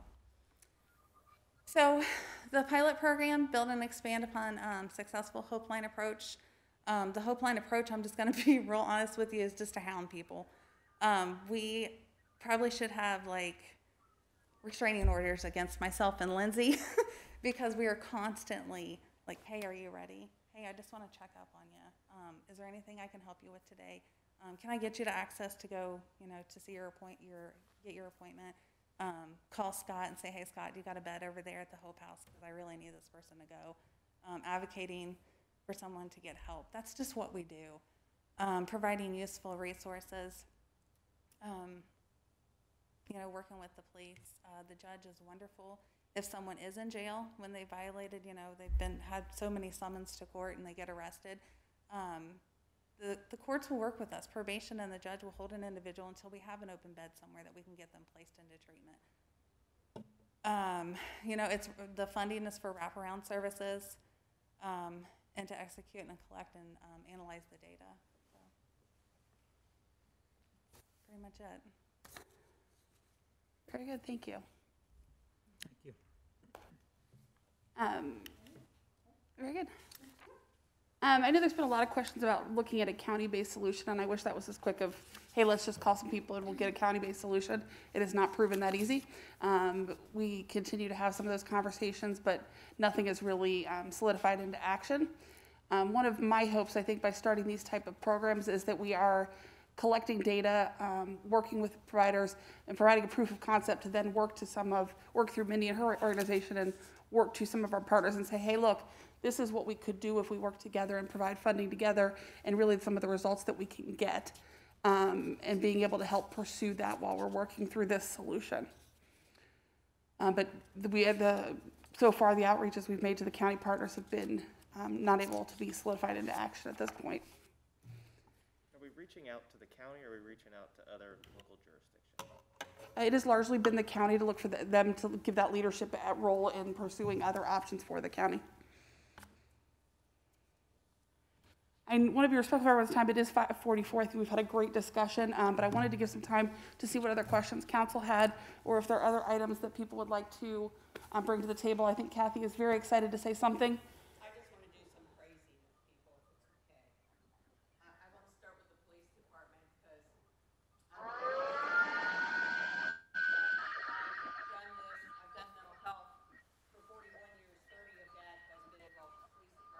Kathy, do you mind actually coming up and going to the microphone? Because I don't think Ms. Vitori can hear you, which means it's, Trying. yeah, we need you up on, on the stage. And it's B-I-R, it's B-I-R-K.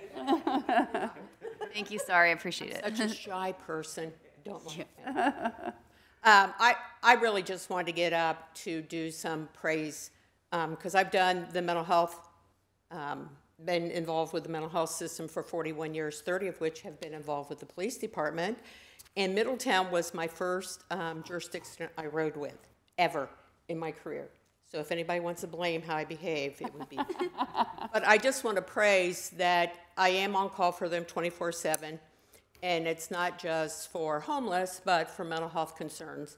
And they've called on some really good calls that we ended up, the person didn't get arrested or didn't go to the hospital because of the officers working collaboratively. Um, but I also want to say they're very protective of my time. So they're not calling like at two in the morning every day of the week. They get very protective, and when they call, they're calling for a good reason because they're very good and trained in de-escalation and working with people and following up. So I want to start with there. Thank you, Chief. The other I want to credit is the court.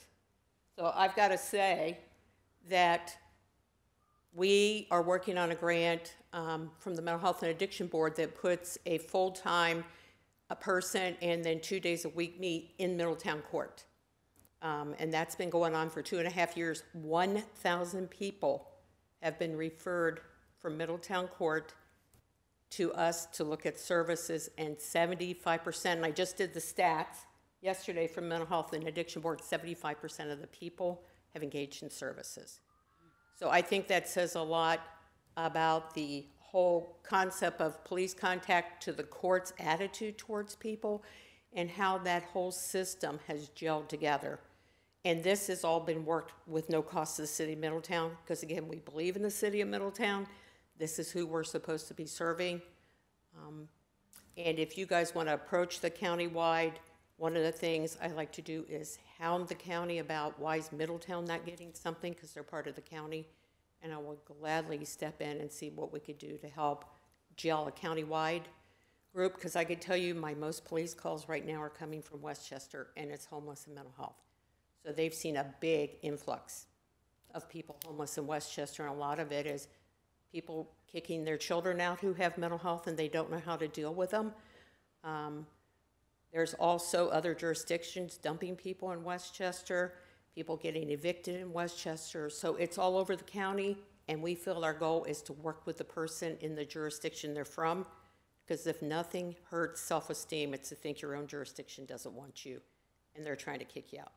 So again, any help I could be, I just wanted to say, I think the world of Middletown, but I wanted to praise, because sometimes this is a forgotten group, and let you know any help I could be, I'm there for you guys. So thank you very much.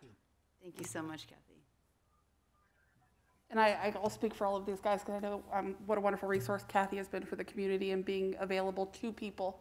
Um, but I also think there was something important to said that Kathy's phone number can't be the entire system, and wanting to make sure we have some resources on board to help everyone get services that they need and be able to have that contact.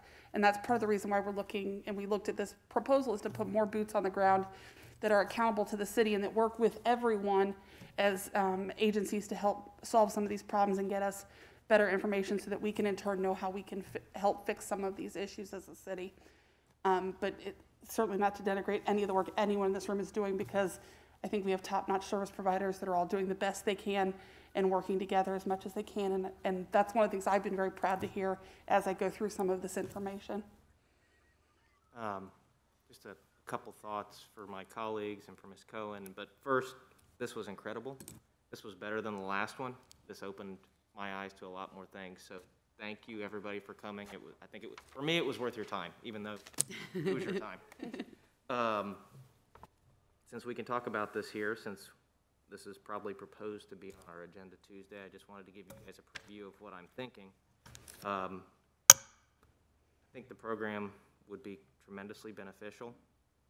What the struggle I've been having for the last couple weeks is Middletown program. You know, we had Steve and the chief stand up here and say, Middletown's got all the services, that's why everybody comes. And Ami's not gonna like this. Um, I, I really wish, you know, after having heard from Mindy, and they might have some interest in this, maybe we give it a few weeks. I got five people here that I have personal relationships with, or council members, or township trustees in other parts of the county. Let's call them and say, hey, guys, would you throw a couple thousand dollars at a program for the county to run? Or not, not even the county, the homeless coalition. Maybe it's the same program with the same groups.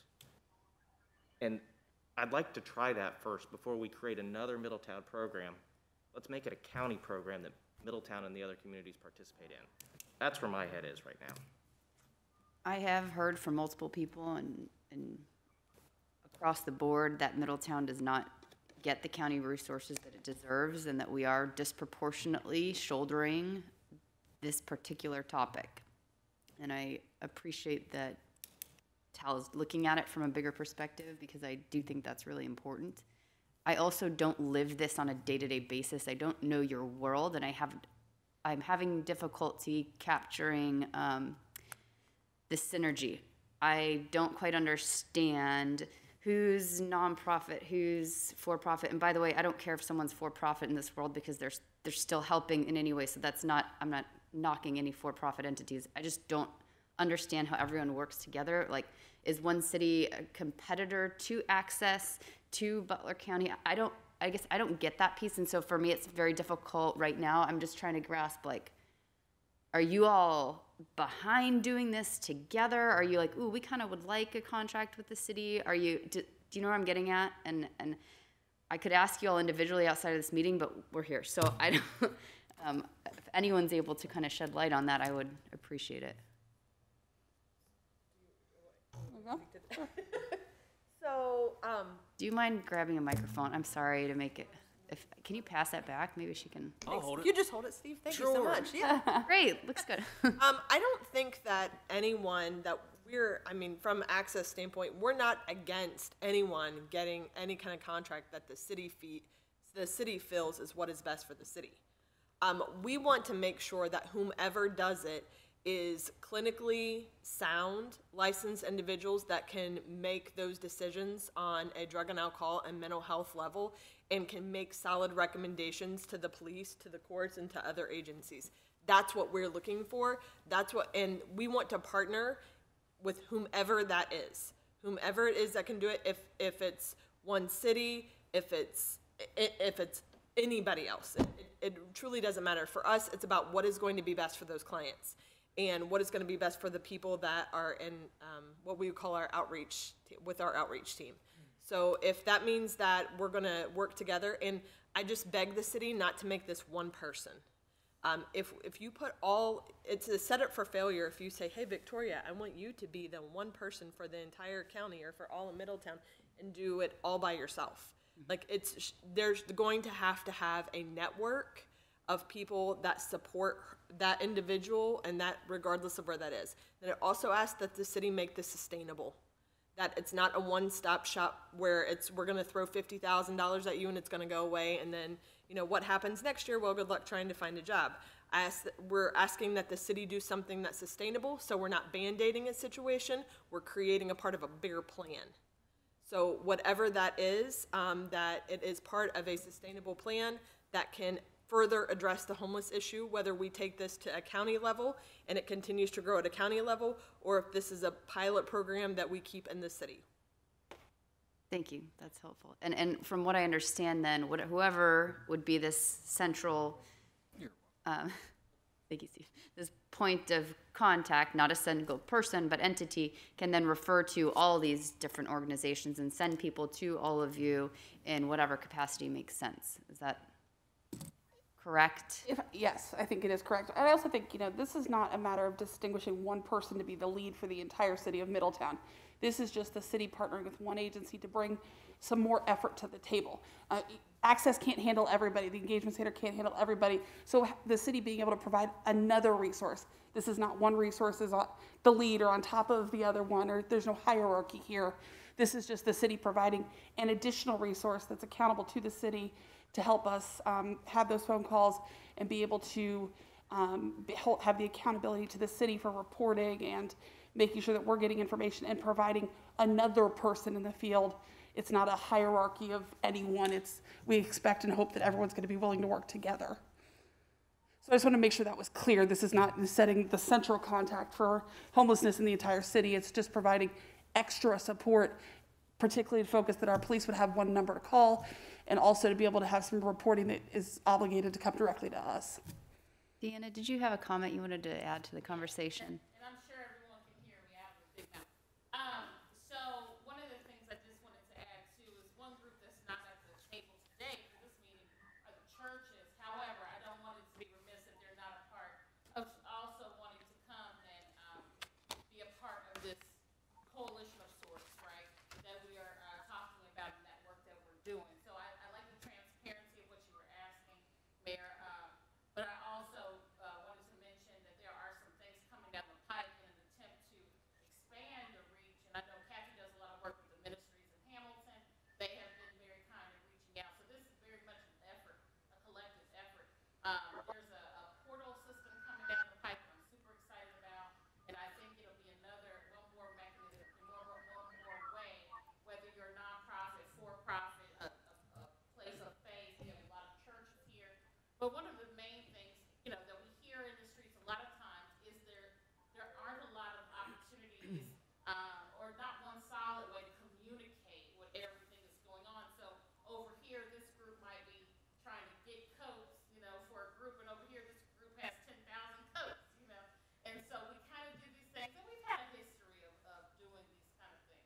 But it's exciting to be at this table and kind of come out and talk about how we can get this centralized virtual hub of sorts, or, or whatever we want to call it, and like not, uh, bring, you know, a lot of people say not just one person, but this collective.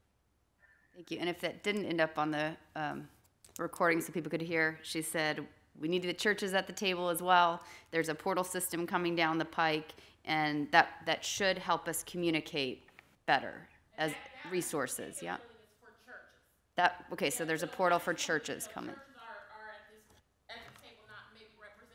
Mhm. interested. Okay, thank you. I mean, I would just like to say, for me, I feel the same as I think most of us on council to the degree that we know Middletown has bared the brunt of a lot of these services. And, you know, for whatever people might think that makes this a magnet or not, we wouldn't want to increase that. Um, and I think a countywide solution would be terrific, but I think it'll take time. I mean, I think I, I can't imagine anything happening in a matter of weeks. And so, in my mind, if we have this CARES Act funding, so it's not our dollars, and we can do this program now and learn from it, maybe we do that simultaneously to talking to Butler County so that then we can see what works, use some data, have some outcomes, and together then embark on a program. But it's CARES Act funding. It's available now. The issue is critical now with COVID. I mean, it warmed up today, great, but we still have some winter time ahead of us. And I just think that if we start it now, we learn, we get data, that compels Butler County and our partners in the area to get on board, I think more than if we keep waiting. And that's my opinion.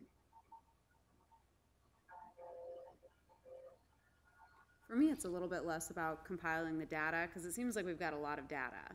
It seems like what we're really trying to do is connect those resources and things like the hub and creating uh, relationships with the county and all of those efforts are what we're really focusing on in trying to get people off of the streets and into care. So, uh, it's still a tough call, and I think that having the CARES Act funding definitely helps. Um, but also seeing success in whatever way we're going to measure that when we talk about this after the trial period is is really the only way to see if it is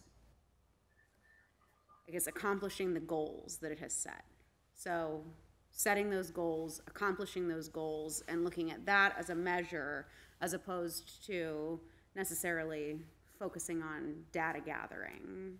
But Well, that's what I meant by data. If we Yeah. set outcomes and we see how they're achieved, then that's data we can use for a future program.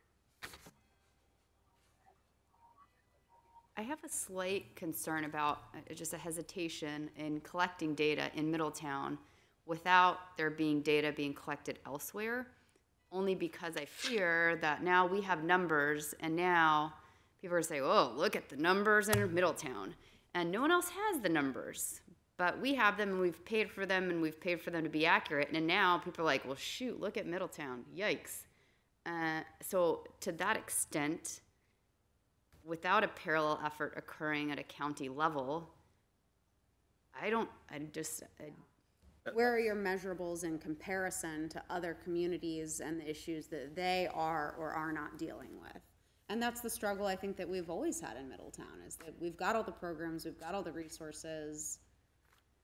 If you, if you build it, if you create it, they'll come and, and what, and what outcome does that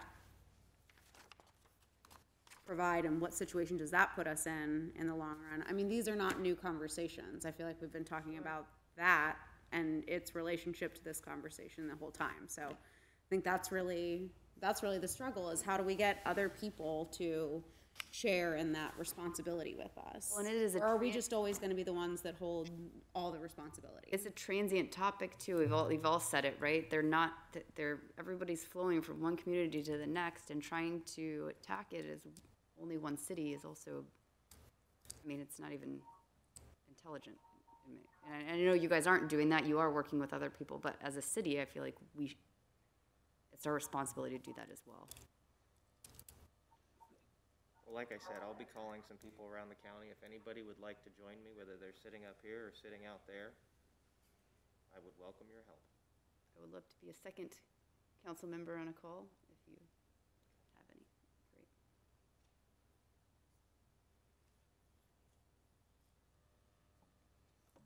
I have one, um, if you could indulge, the, I, I, I think we just need to maybe focus in on the unsheltered homeless. That, that seems to be the term that is, is best to describe those who are, on- who are on the streets. Um, You know, I, I, and I think that's a concern to residences, residents and business owners. And if we can get a handle on that. Um, another takeaway from today, I think we need to engage, um, for instance, AK uh, Steel, uh, Cleveland Cliffs, about the research facility, if that has turned into a, um, a magnet for uh, crime, I think we need to talk to them about either repurposing that or demolishing it. I think they've sold that. Oh, has- No, I think they're still holding on. I was told the city has tried communicating with them. Is that accurate? Do you know the status of that? Uh, There have been um, some initial conversations. There is a concern about um, the environmental a- um, aspect and doing some due diligence before acquiring that property. I meant um, specifically about the issue that the chief was talking about, that there are people trespassing on the property. I don't know if we've had conversations with them about that. I believe they've mentioned it, but I don't know if there's been any serious conversations. I was speaking to Mr. Moon's point about acquiring. Okay. Whether it's been sold. Yeah, no, I'm not even suggesting acquisition by the city. I'm just saying we, we need to, we need, we need to make that, I think, a front burner. We clearly aren't great at uh, keeping trespassers off our own property right now either. Well, so. and, and, right, thank you, Mayor. My, my second point then, if we have all of these partners, agencies that, that we could um, get together on a Wednesday afternoon and clear out these encampments, you know, one by one, week by week or day by day, I, I think, you know, I think that would be a good service to these individuals, because it's not fair for us to say, ah, they're just living in the woods, let them enjoy that. No, that, I mean, uh, I, I think we serve them better when we say, this is not appropriate place for you to be. A, this is city property. B, it's, it's, it's causing a, um, I think the perception would be, I mean, if somebody's living in Smith Park, I don't know if a family with her kids wants to be running or playing or, or, or or whatever in Smith Park, uh, when that behavior is going on. So I think maybe it's just a matter of corralling all these resources together on, on given days and really giving them a choice. You know, you can go here to get help, you can go here to get a bed, you can go, but you can't stay here. This is, these encampments are not going to happen on city property. And they won't happen on private property either. Um, so I, I, think that would be the takeaway that I'm, that I'm think, I'm thinking is very possible in the very near future. Um, and one thing, fine, my final point, uh, that I didn't hear today was the engagement of business owners, uh, like Miss Nenni. How do we reach out to them to say, either re- report these issues if you're having homeless individuals that are making it hard for you to do business here? What is the best response um, for, for you and your employees? Uh, how, how do you engage with the police officer, with the police department, uh, to get better data? Um, you know, again, to, to make sure that, that these individuals, individuals are making it hard to do business in Middletown. So that's, um, those are my takeaways. Thank you. One thing, if I may, because I think this is a good distinction, is this idea of, you know, we want to take people out and say, we're not going to do the homeless camps and get someone out there. I can call services as much as possible and they try and help and, and they'll do everything they can do. I can't force anybody to go out and direct their services to exactly where we want them to be done. So some of the benefit to having somebody actually directly accountable to the city is that we have more time dedicated to be able to direct that work. And so I- I think that would help a little bit in getting some of those issues addressed that you bring up, because I agree with you that they need to be addressed. Um, and, and, but I just also know that I'm not responsible for access and funding and their ability. So while they do the best they can to accommodate us and they do wonderful things, as long as our other agencies, someone that's directly accountable to the city, I can control that a little bit better. And that's fine. If Ms. Hensley is, the- is quarterbacking that, that, that would be, that would be fine. Yeah. No, I, I understand our limitations. We can't. Yeah. we can- But, but it sounds like there, that there are- are multiple agencies, organizations that would be willing to help. Absolutely. Whether that's the churches, Hope House, you know, whether they're Absolutely. present here today or not. Um, And then Public Works comes next day and demolishes the, uh, the uh, honeysuckle or woods or whatever, you know, whatever it is. Yes. So that it We've prevents. it done for a few camps and things, and we'll, we'll need to keep continuing. Absolutely. I think that really speaks to the functionality of what their role would be for the city, because you make a great point that we can't direct private entities or other, you know, other agencies to pinpoint a certain location that we deem a problem. Um, so I think, uh, just to sort of piggyback on that, I thi- I felt like that made a lot of sense to me. Um, I also wanted to talk today a little bit about the court has talked about, and Judge, you've talked about, um, like work programs and those sort of things, deterrence to jailing, and I would love to see more of that involved in this approach to handling, um, some of the people who are repeat offenders and, and that sort of thing. Because I, I know we've talked about it several times. I, I'd really like to see something like that be a part of the solution. You know, I heard Joe uh, mention honeysuckle, and that immediately popped in my head. Yeah, I could get, uh, get uh, uh, community uh, service out there and, and uh, taking care of those kind of issues. Of course, with COVID, uh, that just totally stalled our, service program. But uh, Okay. We have done that in the past. Yeah. Especially back with um, uh, the Mormons and such uh, downtown. We did a downtown, Middletown cleanup at one point, a long time ago, but it is something that we've done in the past. we, we got it going. We've met with Susan a Ed, couple times. We've had a few uh, conversations about this. Okay. COVID did just totally stall it out, Yes. but, uh, you know, I would say before the end of the year, it's gonna be back on track.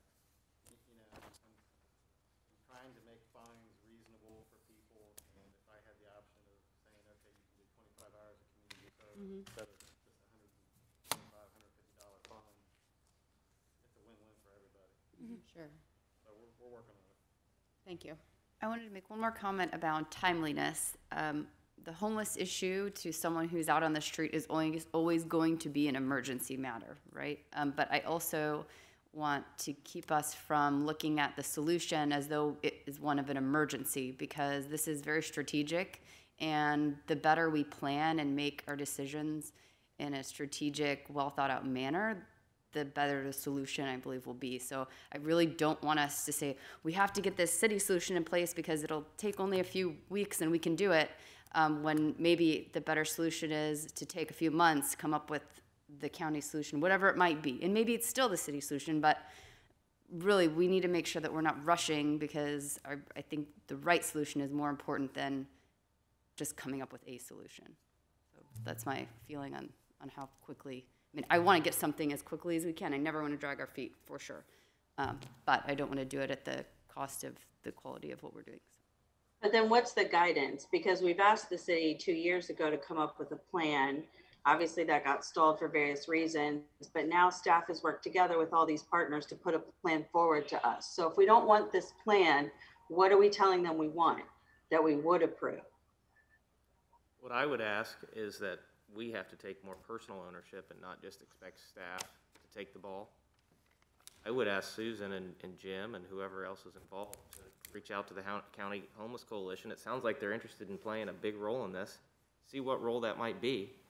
And if we can have conversations with our peers, maybe we can develop some, I, we keep saying county, but I'm really just thinking it's multi-jurisdictional. It's not about the county, although they may play a role. It's about Hamilton, it's about West Chester, it's about Fairfield, it's about Oxford, it's about maybe Monroe. You all put a little bit of money in and maybe we get to the same place. Then it's a Butler County solution and not something unique to us. Um, maybe it doesn't work, but I'd like to at least try it. Well, and, and even if we were to say, hey, we have this idea of a pilot program in Middletown, we would like um, your agreement that you're gonna, that you do a similar program in your city. Let's do it all at once, try it, and we can all communicate during that time period as well, so that it, it is bigger than just here. Because the pilot program isn't something that's like, I mean, we know there's gonna be success with that concept, right? It's not like, oh, we're gonna try it and it could fall on its face. I mean, I think the concept is there, we understand it, um, but to get more people involved and more buy-in outside of Middletown uh, is, it's critical. So we're not talking about the plan then, because before it was, let's not just rush to put some plan in place. So we're okay with the plan, we just don't want to do it by ourselves. Well, the plan right now is only Middletown. But the action, what the plan is. So whoever does it, let's say it's us or the county, we're okay with the plan, but we don't want to be the only ones doing the plan. Because I don't want people to go waste their time to come up with a different plan. If we're saying we like the plan, but we're saying we don't want to do it by ourselves, that's two different things. I think we're saying we want to engage other people in the discussion and then decide if that is the right way forward. Because if there's other, other communities and partners who say, you know, actually, we've been thinking about something similar, we tell them what we're thinking, the staff has proposed to us, and they say, hey, have you thought about this? We, maybe we tweak it, maybe we say that's what we want to do, but we, I don't think we've engaged enough with our partners. And like Tal said, I'll, I will, I'll love to take some of that ownership as well and not have it all on the staff to come up with. And I think they've done a great job with this plan. I just want to do more. I feel like I've, I don't know, who's making smoothies? um, I guess, I guess for me, I struggle now because I, because I do, I, I see the point of what we need in order to accomplish the goals that, you know, that Councilman Mulligan put forward. We want to do something about the homeless camps. We want to do something about, uh, you know, the boarding up of some of these buildings and protecting our assets and all of these things. And how do we accomplish those things with the resources that we have? Can we do that with the resources that we have while we work on a more countywide solution? Um, you know, it, is that an alternative to moving down this path right now? I, I guess that's where I'm, I'm trying to figure out if that's something we can do. I'm sorry, I just wanted to bring up that the Mental Health and Addiction Board pays transitional living, it's called a PATH grant, it's federal. They've had it for years because I was part of it. Their job is to go to these camps and to engage people into services. So just food for thought maybe too is to call in the Mental Health and Addiction Board Mm-hmm. and kind of request, where does that program stand in Middletown? Mhm. I know they're in Hamilton, but maybe to ask them too, because they put over two hundred thousand dollars a year into that, and it's been there, I ran it twenty years, so it's been there for a while, but maybe to get their feedback, because that's countywide. So if that helps any, that's a. And is that something where we could reach out to them and pinpoint locations and say, we need help with this location and this location and this location? These are specific problems that we have that we would like to address. We have reached out for their services, um, last year when we were dealing with some of the camp issues. But again, you're saying, hey, this is where I want you to go. We're working on their time and their schedule and trying to get, so can I do it tomorrow? No. Can I do it in the next six months? Probably we'll get to where we need to be. Um, it's just a question of being able, do we want to direct, the- be able to direct those services or do we want to be responsive? Where have they helped Middletown? What, where have they been and when? I can tell you the two main um, occasions I've called them personally. I, I couldn't tell you everyone in Middletown, um, but I can tell you we've used them two particular occasions when we were looking at homeless camps. One was um, by the River Center line, and then the other was. Do you remember what the second one was? Uh, yeah, on the end of Webster there. And did they come and provide service? They um, will go out. So typically, how you would handle that is if you're going to go um, empty a camp. Did they, in those instances, provide service? Yeah, so we would call them, ask them to come in. They would say, okay, we're available these days and times. They'd come out ahead of, of Public Works going to clean the camps and try and engage with people to get them into services um, and do some of that pre-work. And then, you know, the warning effectively to say, hey, in a week, Public Works is going to come through and clean this area, and the police are coming through to clean this area. Um, it's just whether you want to work on their timeline or whether you want to work on a timeline. I understand what the concept is of what they do, but did they help in those circumstances and what did they do and what was the outcome? They did take names, they did take names, they made contacts with these people, but in two thousand nineteen, we destroyed eight camps. We had public service come in, destroyed ca- eight camps. All we did was displace everybody. How many Some camps do we have now? Well, More than have eight? 14. More than eight? So, I all we did was displace them. So we had them on Water Street, we had them on Webster. All we did was destroy them, they went elsewhere. And that's the problem. We had them out there, they made their names, they said, hey, we can get you treatment, we can do this. A lot of them said no, and they continued on their way. So destroying the camps is not the answer. We can go in there next week and destroy the camps, but you can ask the courts. All we do is displace them. And then we get calls that they're downtown on Central Avenue walking around. Or in vacant houses. Because not all people want help. That's the problem. That's why by having a company or a service that actually comes out there and builds that relationship with them, and they see Victoria or Lindsay or Kathy on a regular basis, they're more willing to trust them. They're more willing to get that. Just going in and destroying those camps. Uh, Yeah, and I don't think that's what uh, we're talking about, is just going in to destroy the camp. I think the question specifically was the Mental Health and Addiction Board itself, and that service is supposed to be responsive and not on their own time. I only say that because I was accountable to the board, Okay. and I know how they made me accountable. And that's when the twenty-four seven started, um, to be able to respond for police. So I'm not saying they're doing anything wrong, but I would talk to the board just to say, we hear you have this, how can you help us in Middletown to complement whatever you do? Right, yeah, that's what I'm, yeah, okay.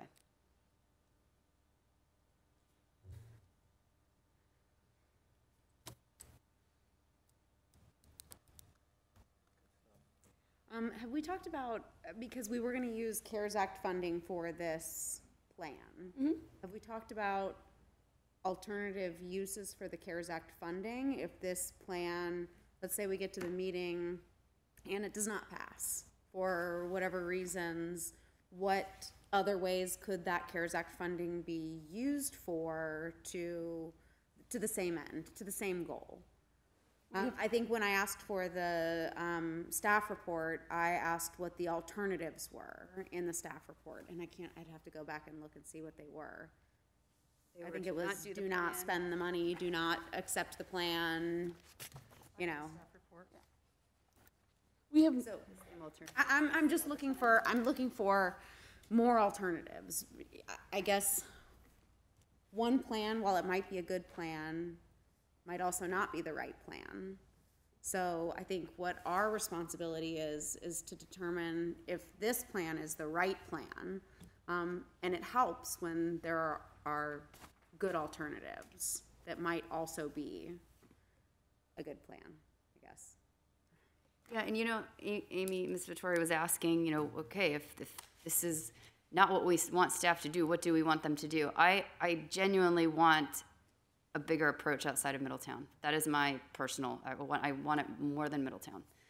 Um, I'm, I'm not saying one hundred percent no to, to this, but that's my, that's my ask. And I think that it's been the discussion since I heard that when, before I was on council, was an ask of a bigger approach as well.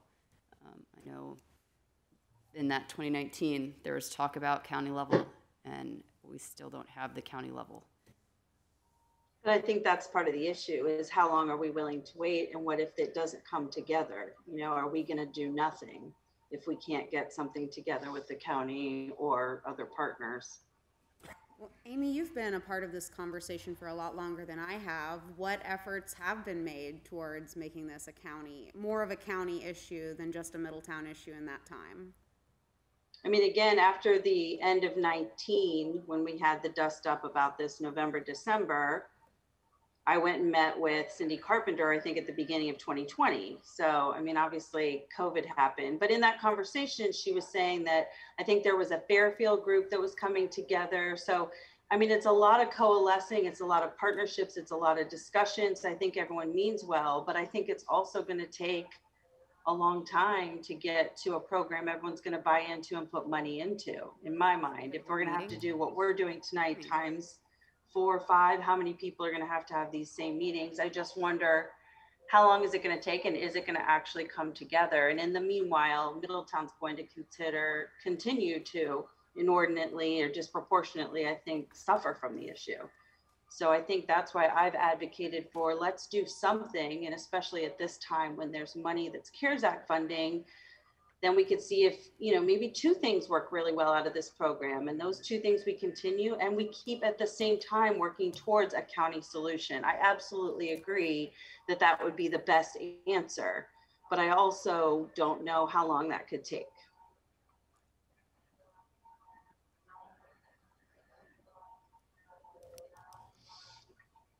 And it's impossible to say what would have happened if not for COVID and everything else. Absolutely. And that's just not a path you can even really go down, but, you know, can we move on from here and start to have those conversations and try to make it more of a local issue, you know, more of a regional issue than a local issue?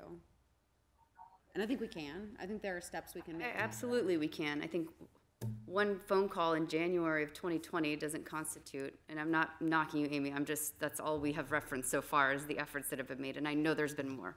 I think there's also been some references from the service providers, and I think we've had more conversations that they've just not come to fruition. Everyone says, hey, that's a wonderful idea, and then everyone sits and twiddles their thumbs. Right, so maybe we put CARES Act funding towards coming up with that wonderful idea at a bigger level. I mean, everybody's got the CARES Act funding. Uh, mean, we just need to mobilize.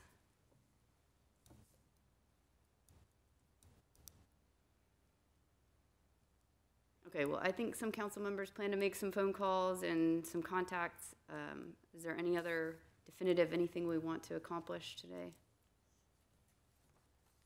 I just want to say thank you to everyone for your time and being here. Thank you. For putting this together and, and putting together a plan and working towards a solution for a problem that we've identified, and I think hopefully we can get to actually seeing that come to fruition. Absolutely. Thank you. Thank you, everyone. So with that being said, we will dismiss until uh, Monday, what's, or Mon, Tuesday? March the 2nd.